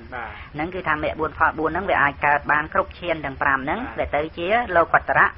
40បាទ ហើយលោកបងមានប្រសាសន៍សួរមិញខ្ញុំពីព្រះអរិយបុគ្គលដែលមិនបានសម្រេចរូបាវចរៈអរូបាវចរៈអញ្ចឹងទេណាអញ្ចឹងដូចជាឧបាសិកាវិសាខាអីដែលបានលើកយកមកធ្វើជាឧទាហរណ៍រឿយរឿយប៉ុន្តែមានឧបាសិកាច្រើនទៀតឧបាសកក៏ច្រើនទៀតទេណាដែលមិនបានសម្រេចនៅរូបាវចរៈអរូបាវចរៈអីទេតើមគ្គផលរបស់លោកនោះរាប់ជាឈានលោកតរៈដែរឬទេ នៅក្នុង40ហ្នឹងអញ្ចឹងទេណា ត្រង់សេចក្តីនេះយើងក៏បីនឹងបានពិចារណាថា នៅពេលដែលមគ្គចិត្តផលចិត្តកើតឡើងវាមិនមែនកើតចិត្តតែឯងទេវាត្រូវមានចេតសិកផងហើយអញ្ចឹងទេណាធម្មតាចេតសិកដែលកើតឡើងជាមួយនឹងលោកតរៈហ្នឹងវាត្រូវមានជាង30ហើយអ្នករៀនអភិធម្មហ្នឹងលោកជ្រាបហើយហើយនៅក្នុងបណ្ដាចេតសិកទាំងឡាយហ្នឹងវាមានចេតសិកដែលជាតួឈានហ្នឹងហើយដូចជាវិតកវិចារៈបៃតេចឹងទេណាសោមនស្សវេទនា ហើយនឹងឯកកតាហ្នឹងនឹងវាជាអង្គឈានហ្នឹងហើយចឹងទេណាហើយអង្គឈានហ្នឹងក៏ជាលោកតរៈហ្នឹងដែរចឹងហើយវាត្រូវគ្នានឹងអង្គរបស់បឋមឈានដែលជាលោកតរៈហ្នឹងក៏5ចឹងអាដូច្នេះក៏ជាឈានលោកតរៈនឹងដែរអាចយើងហៅបានថាជាបឋមឈាននឹងឯងពីព្រោះវាមានវិតកវិចារៈមិនបានលះវិតកទៅជាទុតិយឈានអីអត់ទេគឺវាមានវិតកវិចារៈហើយពីព្រោះថាក្នុងការដែលបានសម្រេចយ៉ាងនេះ มันអាចដើម្បីលះវិតកវិចារៈអីទេព្រោះអត់មានរូបាវចរៈរូបាវចរៈអីជាបានអំពីខាងដើមអីអត់ទេទេណាបាទហៅតែបឋមឈាននឹងបានប៉ុន្តែមិនមែនបឋមឈានចំពោះព្រះអរិយបុគ្គលណាដែលបានសម្រេចបឋមឈានរូបាវចរៈហើយទេត្រង់កន្លែងនេះគឺកុំឲ្យច្រឡំណាទេណាកុំឲ្យច្រឡំថាមគ្គផលសត្វតែលោកតរៈឈានគឺត្រូវតែចម្រើនបឋមឈានជារូបាវចរៈឲ្យបានសិនមិនមែនទេមិនមែនទេ គឺថាបឋមជារូបាវចរៈបានហើយដល់ទៅបឋមជាលោកកតរៈអានឹងវាអញ្ចឹងហើយអញ្ចឹងទេណាប៉ុន្តែចំពោះលោកអ្នកដែលមិនបានបឋមឈានដែលជារូបាវចរៈហ្នឹងក៏លោកអាចដើម្បីបានសម្រេចនៅឈានលោកកតរៈអញ្ចឹងដែរហើយក៏មានអង្គ5អីដូចជាបឋមឈានមានវិតកវិចារៈអីពីខាងដើមទៅអញ្ចឹងនេះគឺថាតាមប្រសាសន៍របងសួរហ្នឹងក៏ជាឈានលោកកតរៈនឹងឯងអញ្ចឹងទេណា ដូច្នេះគឺថាវាគ្រប់អង្គដូចជាបឋមឈានរាប់ចូលនៅក្នុងបឋមឈាននឹងបានអញ្ចឹងទៅក្នុងការប្រហារនៅអាសវៈកិលេសដាច់ជាសមុច្ឆេតគឺជាឈានលោកតរៈពិតប្រកបមិនមែនផ្សេងអំពី